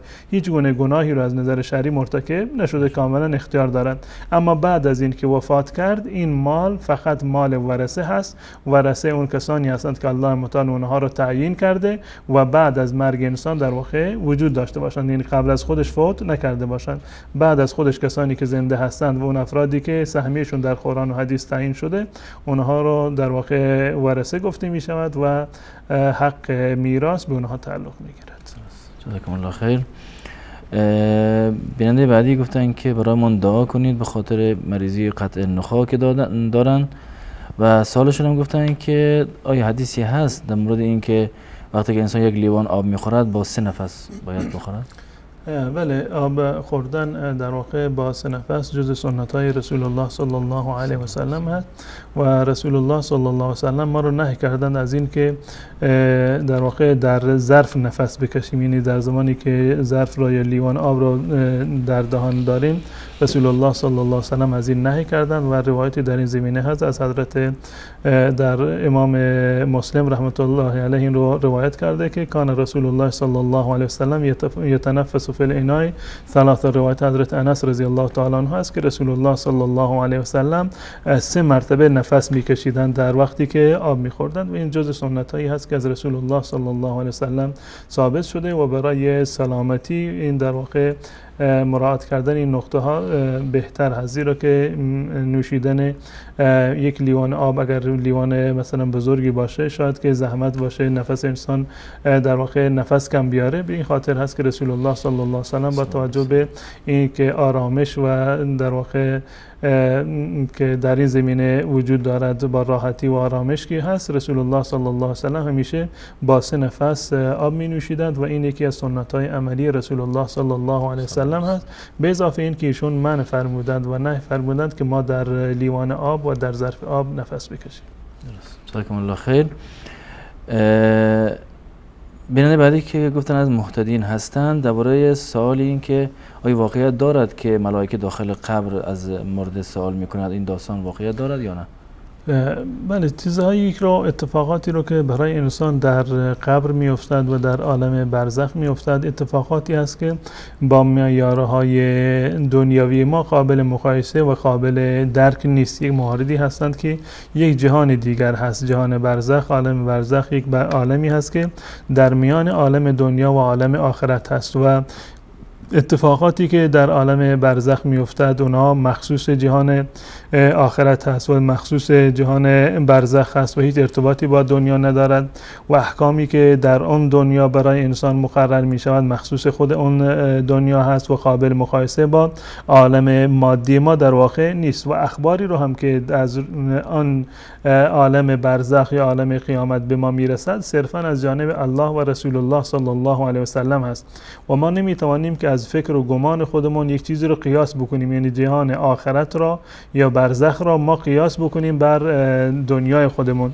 یکی هم ثوابش هم عقابش مجازاتش ناز و نعمتش تمامشون یک مواردی هست که برخلاف اون چیزی هست که ما در دنیا به آن عادت کردیم و برخلاف معیارهای دنیوی هست. در این زمینه روایت متعددی اومده از رسول الله صلی الله علیه وسلم که انسان زمانی که در قبر گذاشته می شود و وقتی که مردم رو دفن می‌کنه میمانند و بعد از این که برمیگردند فرشتگان منکر و نکیر روحش را باز میگردانند در واقع روحش بازگردانده می شود و سوال کرده می شود از اون که پروردگارت کیست و پیامبرت کیست و پیرو چی دینی, دینی بودی دین چیست؟ این سوالاتی است که در قبر از انسان پرسیده می شود کسانی که در دنیا اهل توحید بودند یعنی الله متعال را می شناختند رسول الله صلی الله علیه وسلم را می شناختند پیرو سنت رسول الله صلی الله علیه وسلم و دین رسول الله صلی الله علیه وسلم بودند قطعا اونها این جا این سوالات رو در واقع پاسخ میدن. لازم نیست که انسان همیشه تکرار بکند که پروردگارم الله هست پیامبرم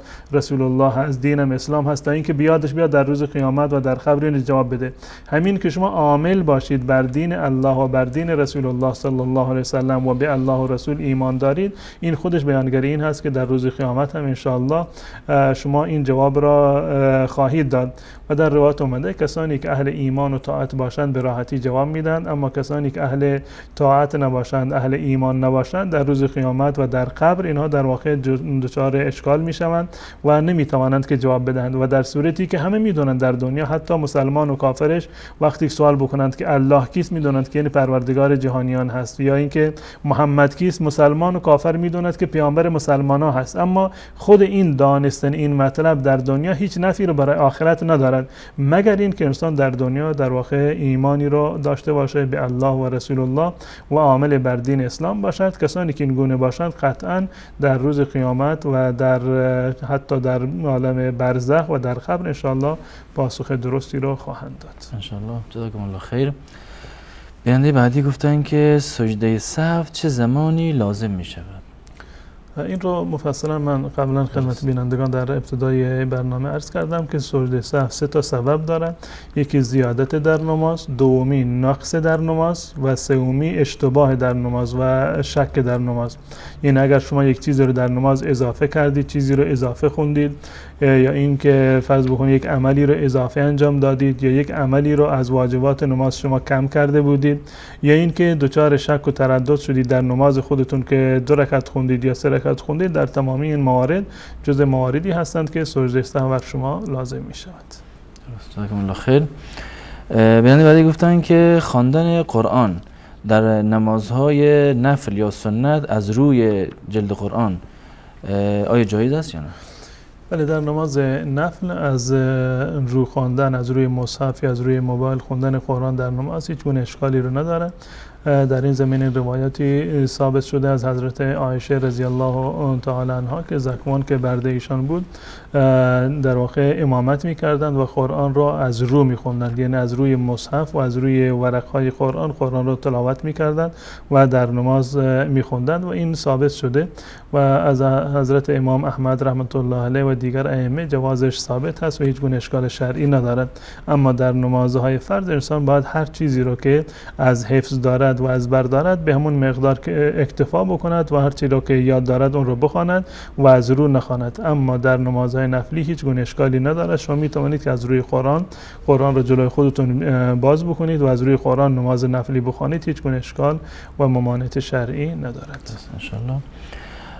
بهترین ذکر نزد الله چه ذکری به صورت کلی ذکر یک عبادتی هست که الله متعال برخلاف عبادات دیگر به ما دستور داده که این ذکر را زیاد انجام بدهیم.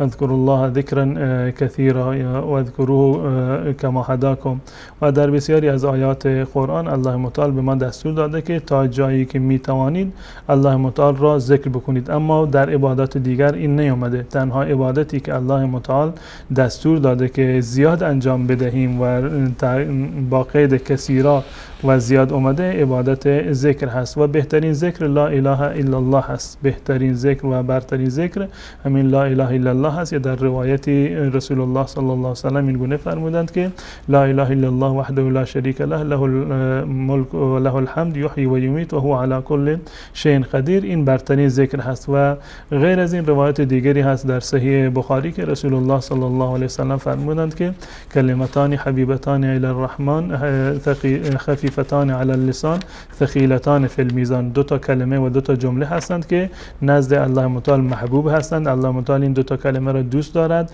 و بر زبان آوردنشون بسیار ساده هست و در میزان و در نامه اعمال بسیار سنگین هستند. سبحان الله و بحمده سبحان الله العظیم. سبحان الله و بحمده سبحان الله العظیم. اینها محبوب ترین جملاتی هستند که نزد الله متعال وجود دارند و بهترین ذکرها اون ذکرهایی هستند که همه اونها رو در واقع می‌دونن مثل این جملات یا سبحان الله و الحمدلله لا اله الا الله و الله اکبر که جز اذکاری هستند که بعد از نماز خونده می‌شوند. اینها جز برترین اذکاری هستند که از رسول الله صلی الله علیه وسلم ثابت هست جزاکم الله خیر.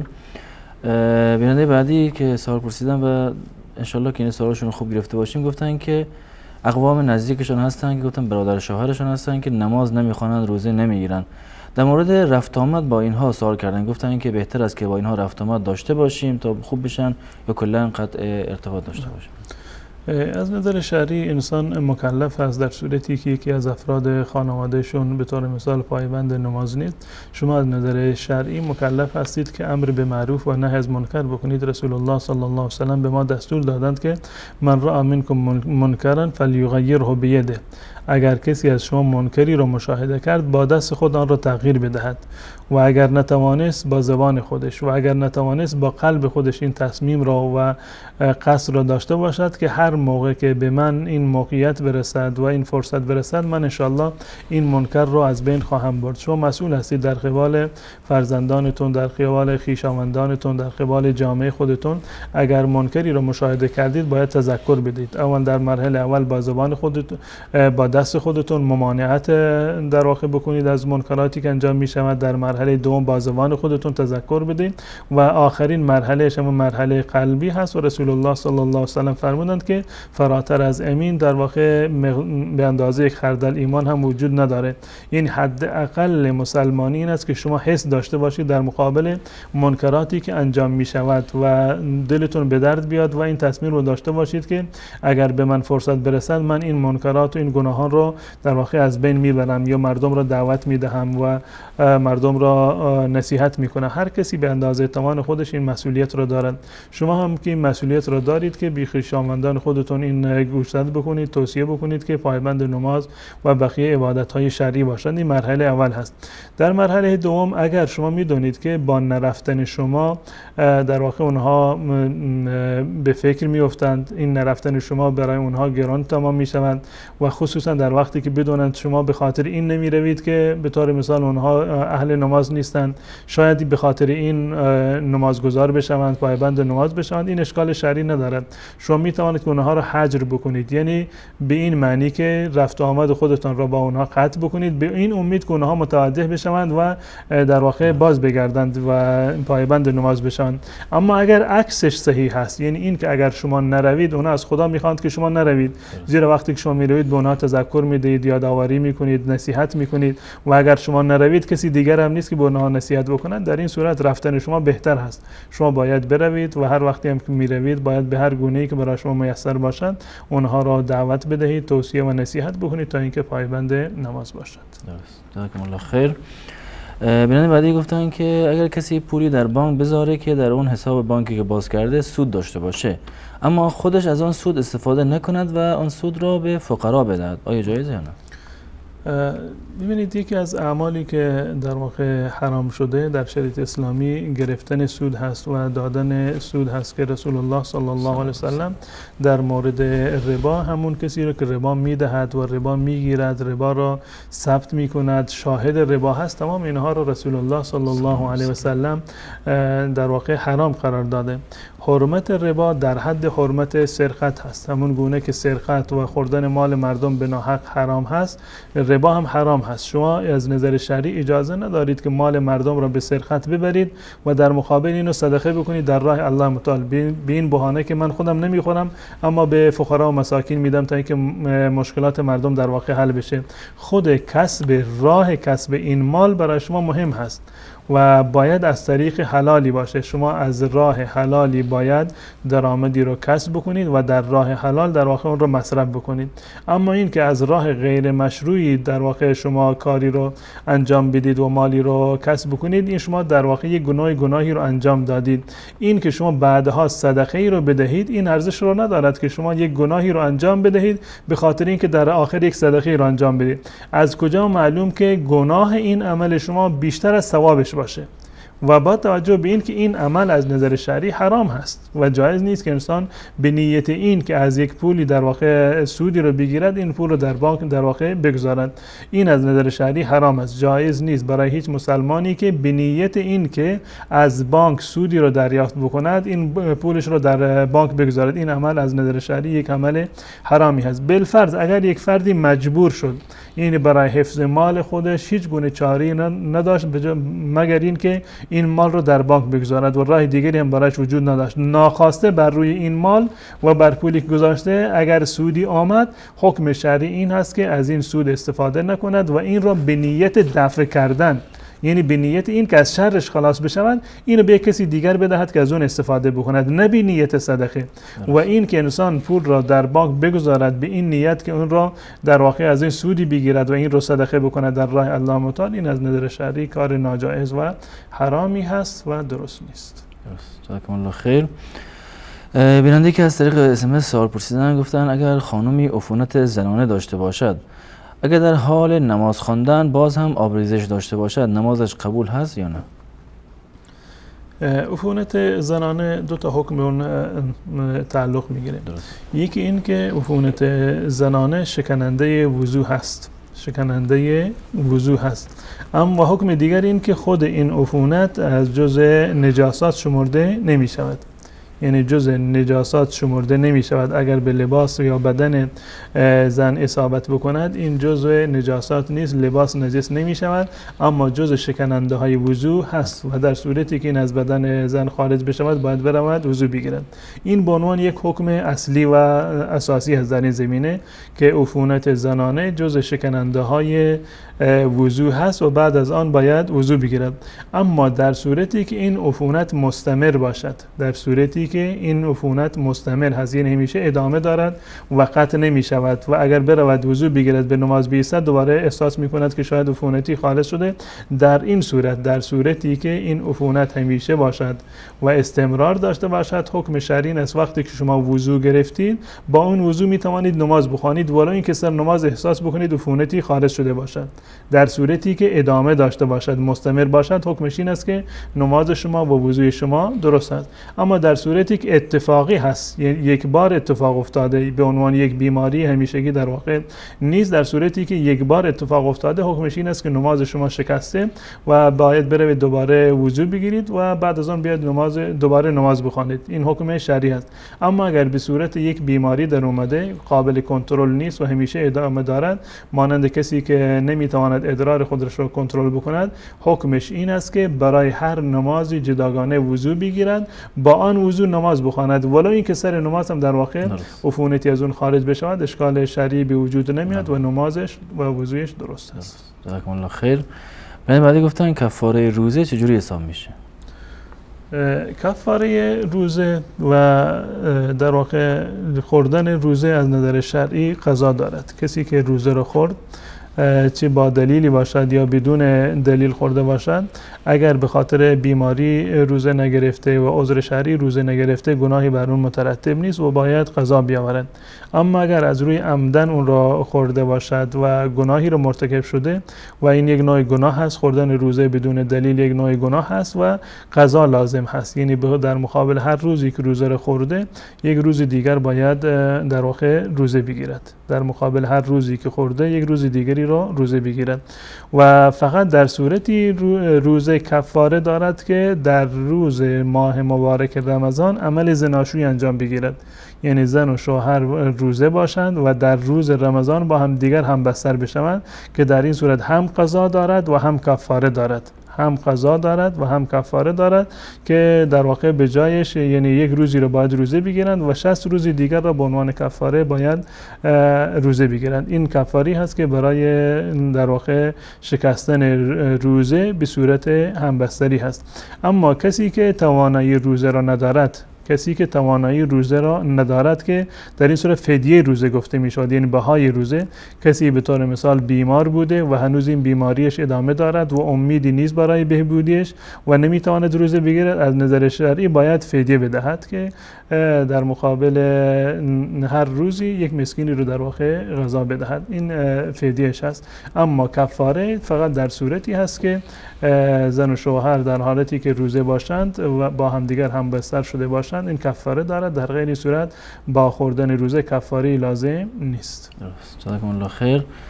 بیننده بعدی در مورد زکات یکی از ارکان یا اصناف سوال کردن گفتن که آیا زکات به تخم کدو تعلق می‌گیرد برای کشاورزان یا نه؟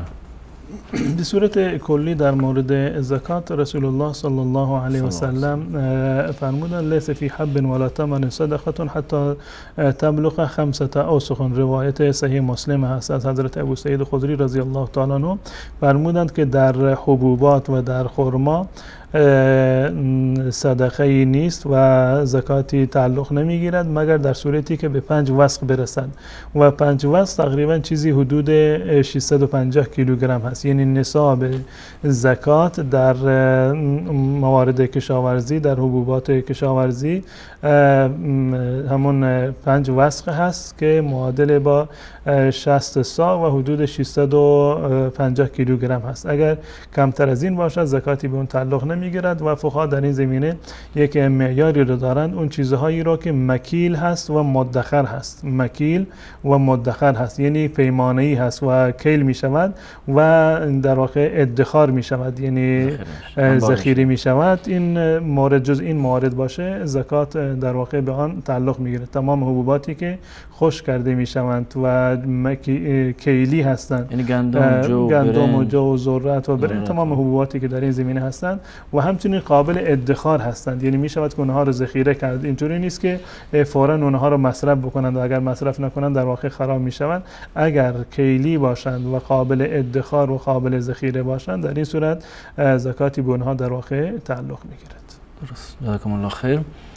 بیننده بعدی گفتن که کسب و کار ما از گازوئیل است. اگر کسی در این راه ماشین چپ کرد یا تصادف کرد یا حتی مامورین با تیر زدنش آیا این شخص شهید حساب می شود یا نه؟ از نظر شهری انسان باید مراعات بکند.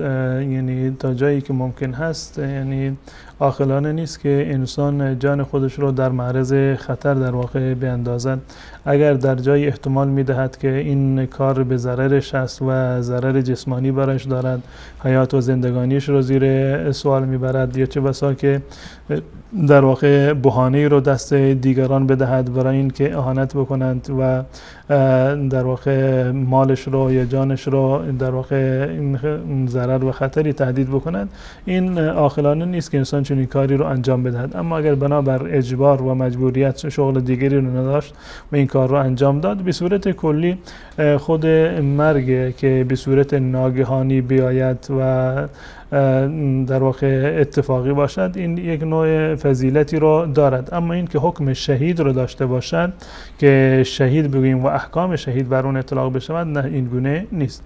احکام شهید بر کسی که در تصادف در واقع کشته باشد یا در واقع ماشین چپ کرده باشد و فوت کرده باشد حکم شهید رو در واقع ندارد. احکام شهید یک احکامی هستند که کاملا مجزا هست و جداگانه هستند. گرچه ما می‌تونیم بگیم که نهایتش این که یک نوع فضیلتی رو مرگی رو که به صورت حدم باشه یا به صورت غرق باشه یا مرگ های ناگهانی که به صورت تصادف و یا اینکه چف کردن ماشین باشه شاید یک نوع فضیلتی رو در واقع داشته باشه. اما این که به عنوان نام شهید به اطلاق بشه و احکام شهید بر آنها عملی بشود چنین نیست. الله خیر. اگر انسان در حال در دل خود نسبت به کسی تهمت بزنند اما از گفتن آن به شخص دیگری خودداری کند و خود را در دل نیز سرزنش کند آیا مرتکب گناه شده به خاطر این کار یا نه؟ انسان انس- باید در جایی که امکان دارد یعنی حسن زن داشته باشد. این بعض زن اسمون که بسیار از گمان ها در واقع گناه هستند. و انسان باید از گمان بد نسبت به دیگران باید پرهیز بکند اما در این زمینه روایت اومده که رسول الله صلی الله علیه وسلم فرمودند که ان الله تجاوز عن امتی اما حدثت به نفسها. اون چیزهایی که در نفس و در دل امت من پدید میاد الله متعال انسان را در مقابل اون مؤاخذه نمی کند الله متعال شما رو معاف کرده در اون گمانی که در دل شما میاد. در دل شما اومد که فلانی نمیدن فلان کار بد رو انجام داده گمان بدی ایجاد شد و بعدا شما متوجه شدید استغفار کردید به قول شما خودتون رو سرزنش کردید. انشالله این گناهی رو ندارد. به شرط اینکه این رو بازگو نکرده باشید. اما در صورتی این رو بازگو کرده باشید در مرحله عام به کسی گفته باشید این در واقع همون مرحله تهمت هست. شما یکی رو متهم کردید. اما تا زمانی که صرفا به عنوان یک گمان هست در قلب شما هست و به کسی نگفتید و از این آزرده هستید و استغفار می‌کنید انشالله که الله متعال این رو به شما بخشیده. بنابر روایتی از رسول الله صلی الله علیه وسلم که آن خیالاتی رو که در قلب امت من می آید الله متعال اونها رو بهشون بخشیده جزاکم الله خیر اه، بیننده بعدی گفتن خانم متعلقه بودم و دوباره بدون اجازه پدر و مادرم نکاح کردم آیا این ازدواجم درست است یا نه؟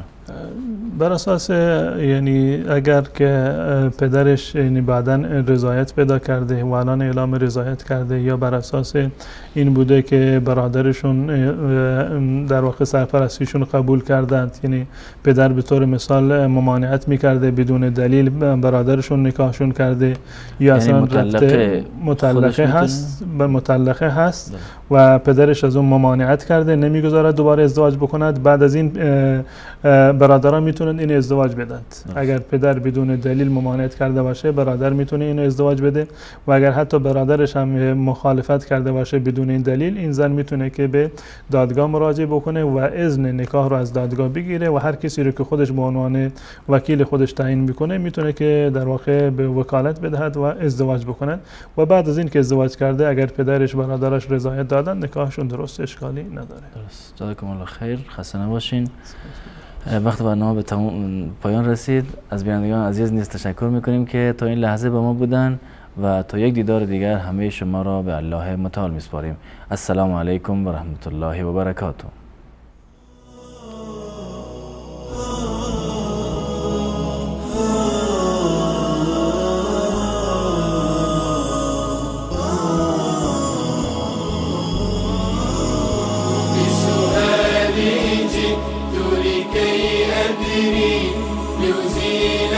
الحيرة من أمري.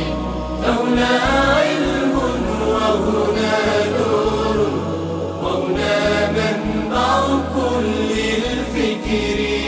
نهر من فقه يتجلى بعقيدة صدق في صدري. لبيك أتيتك في لهف بسؤالك يا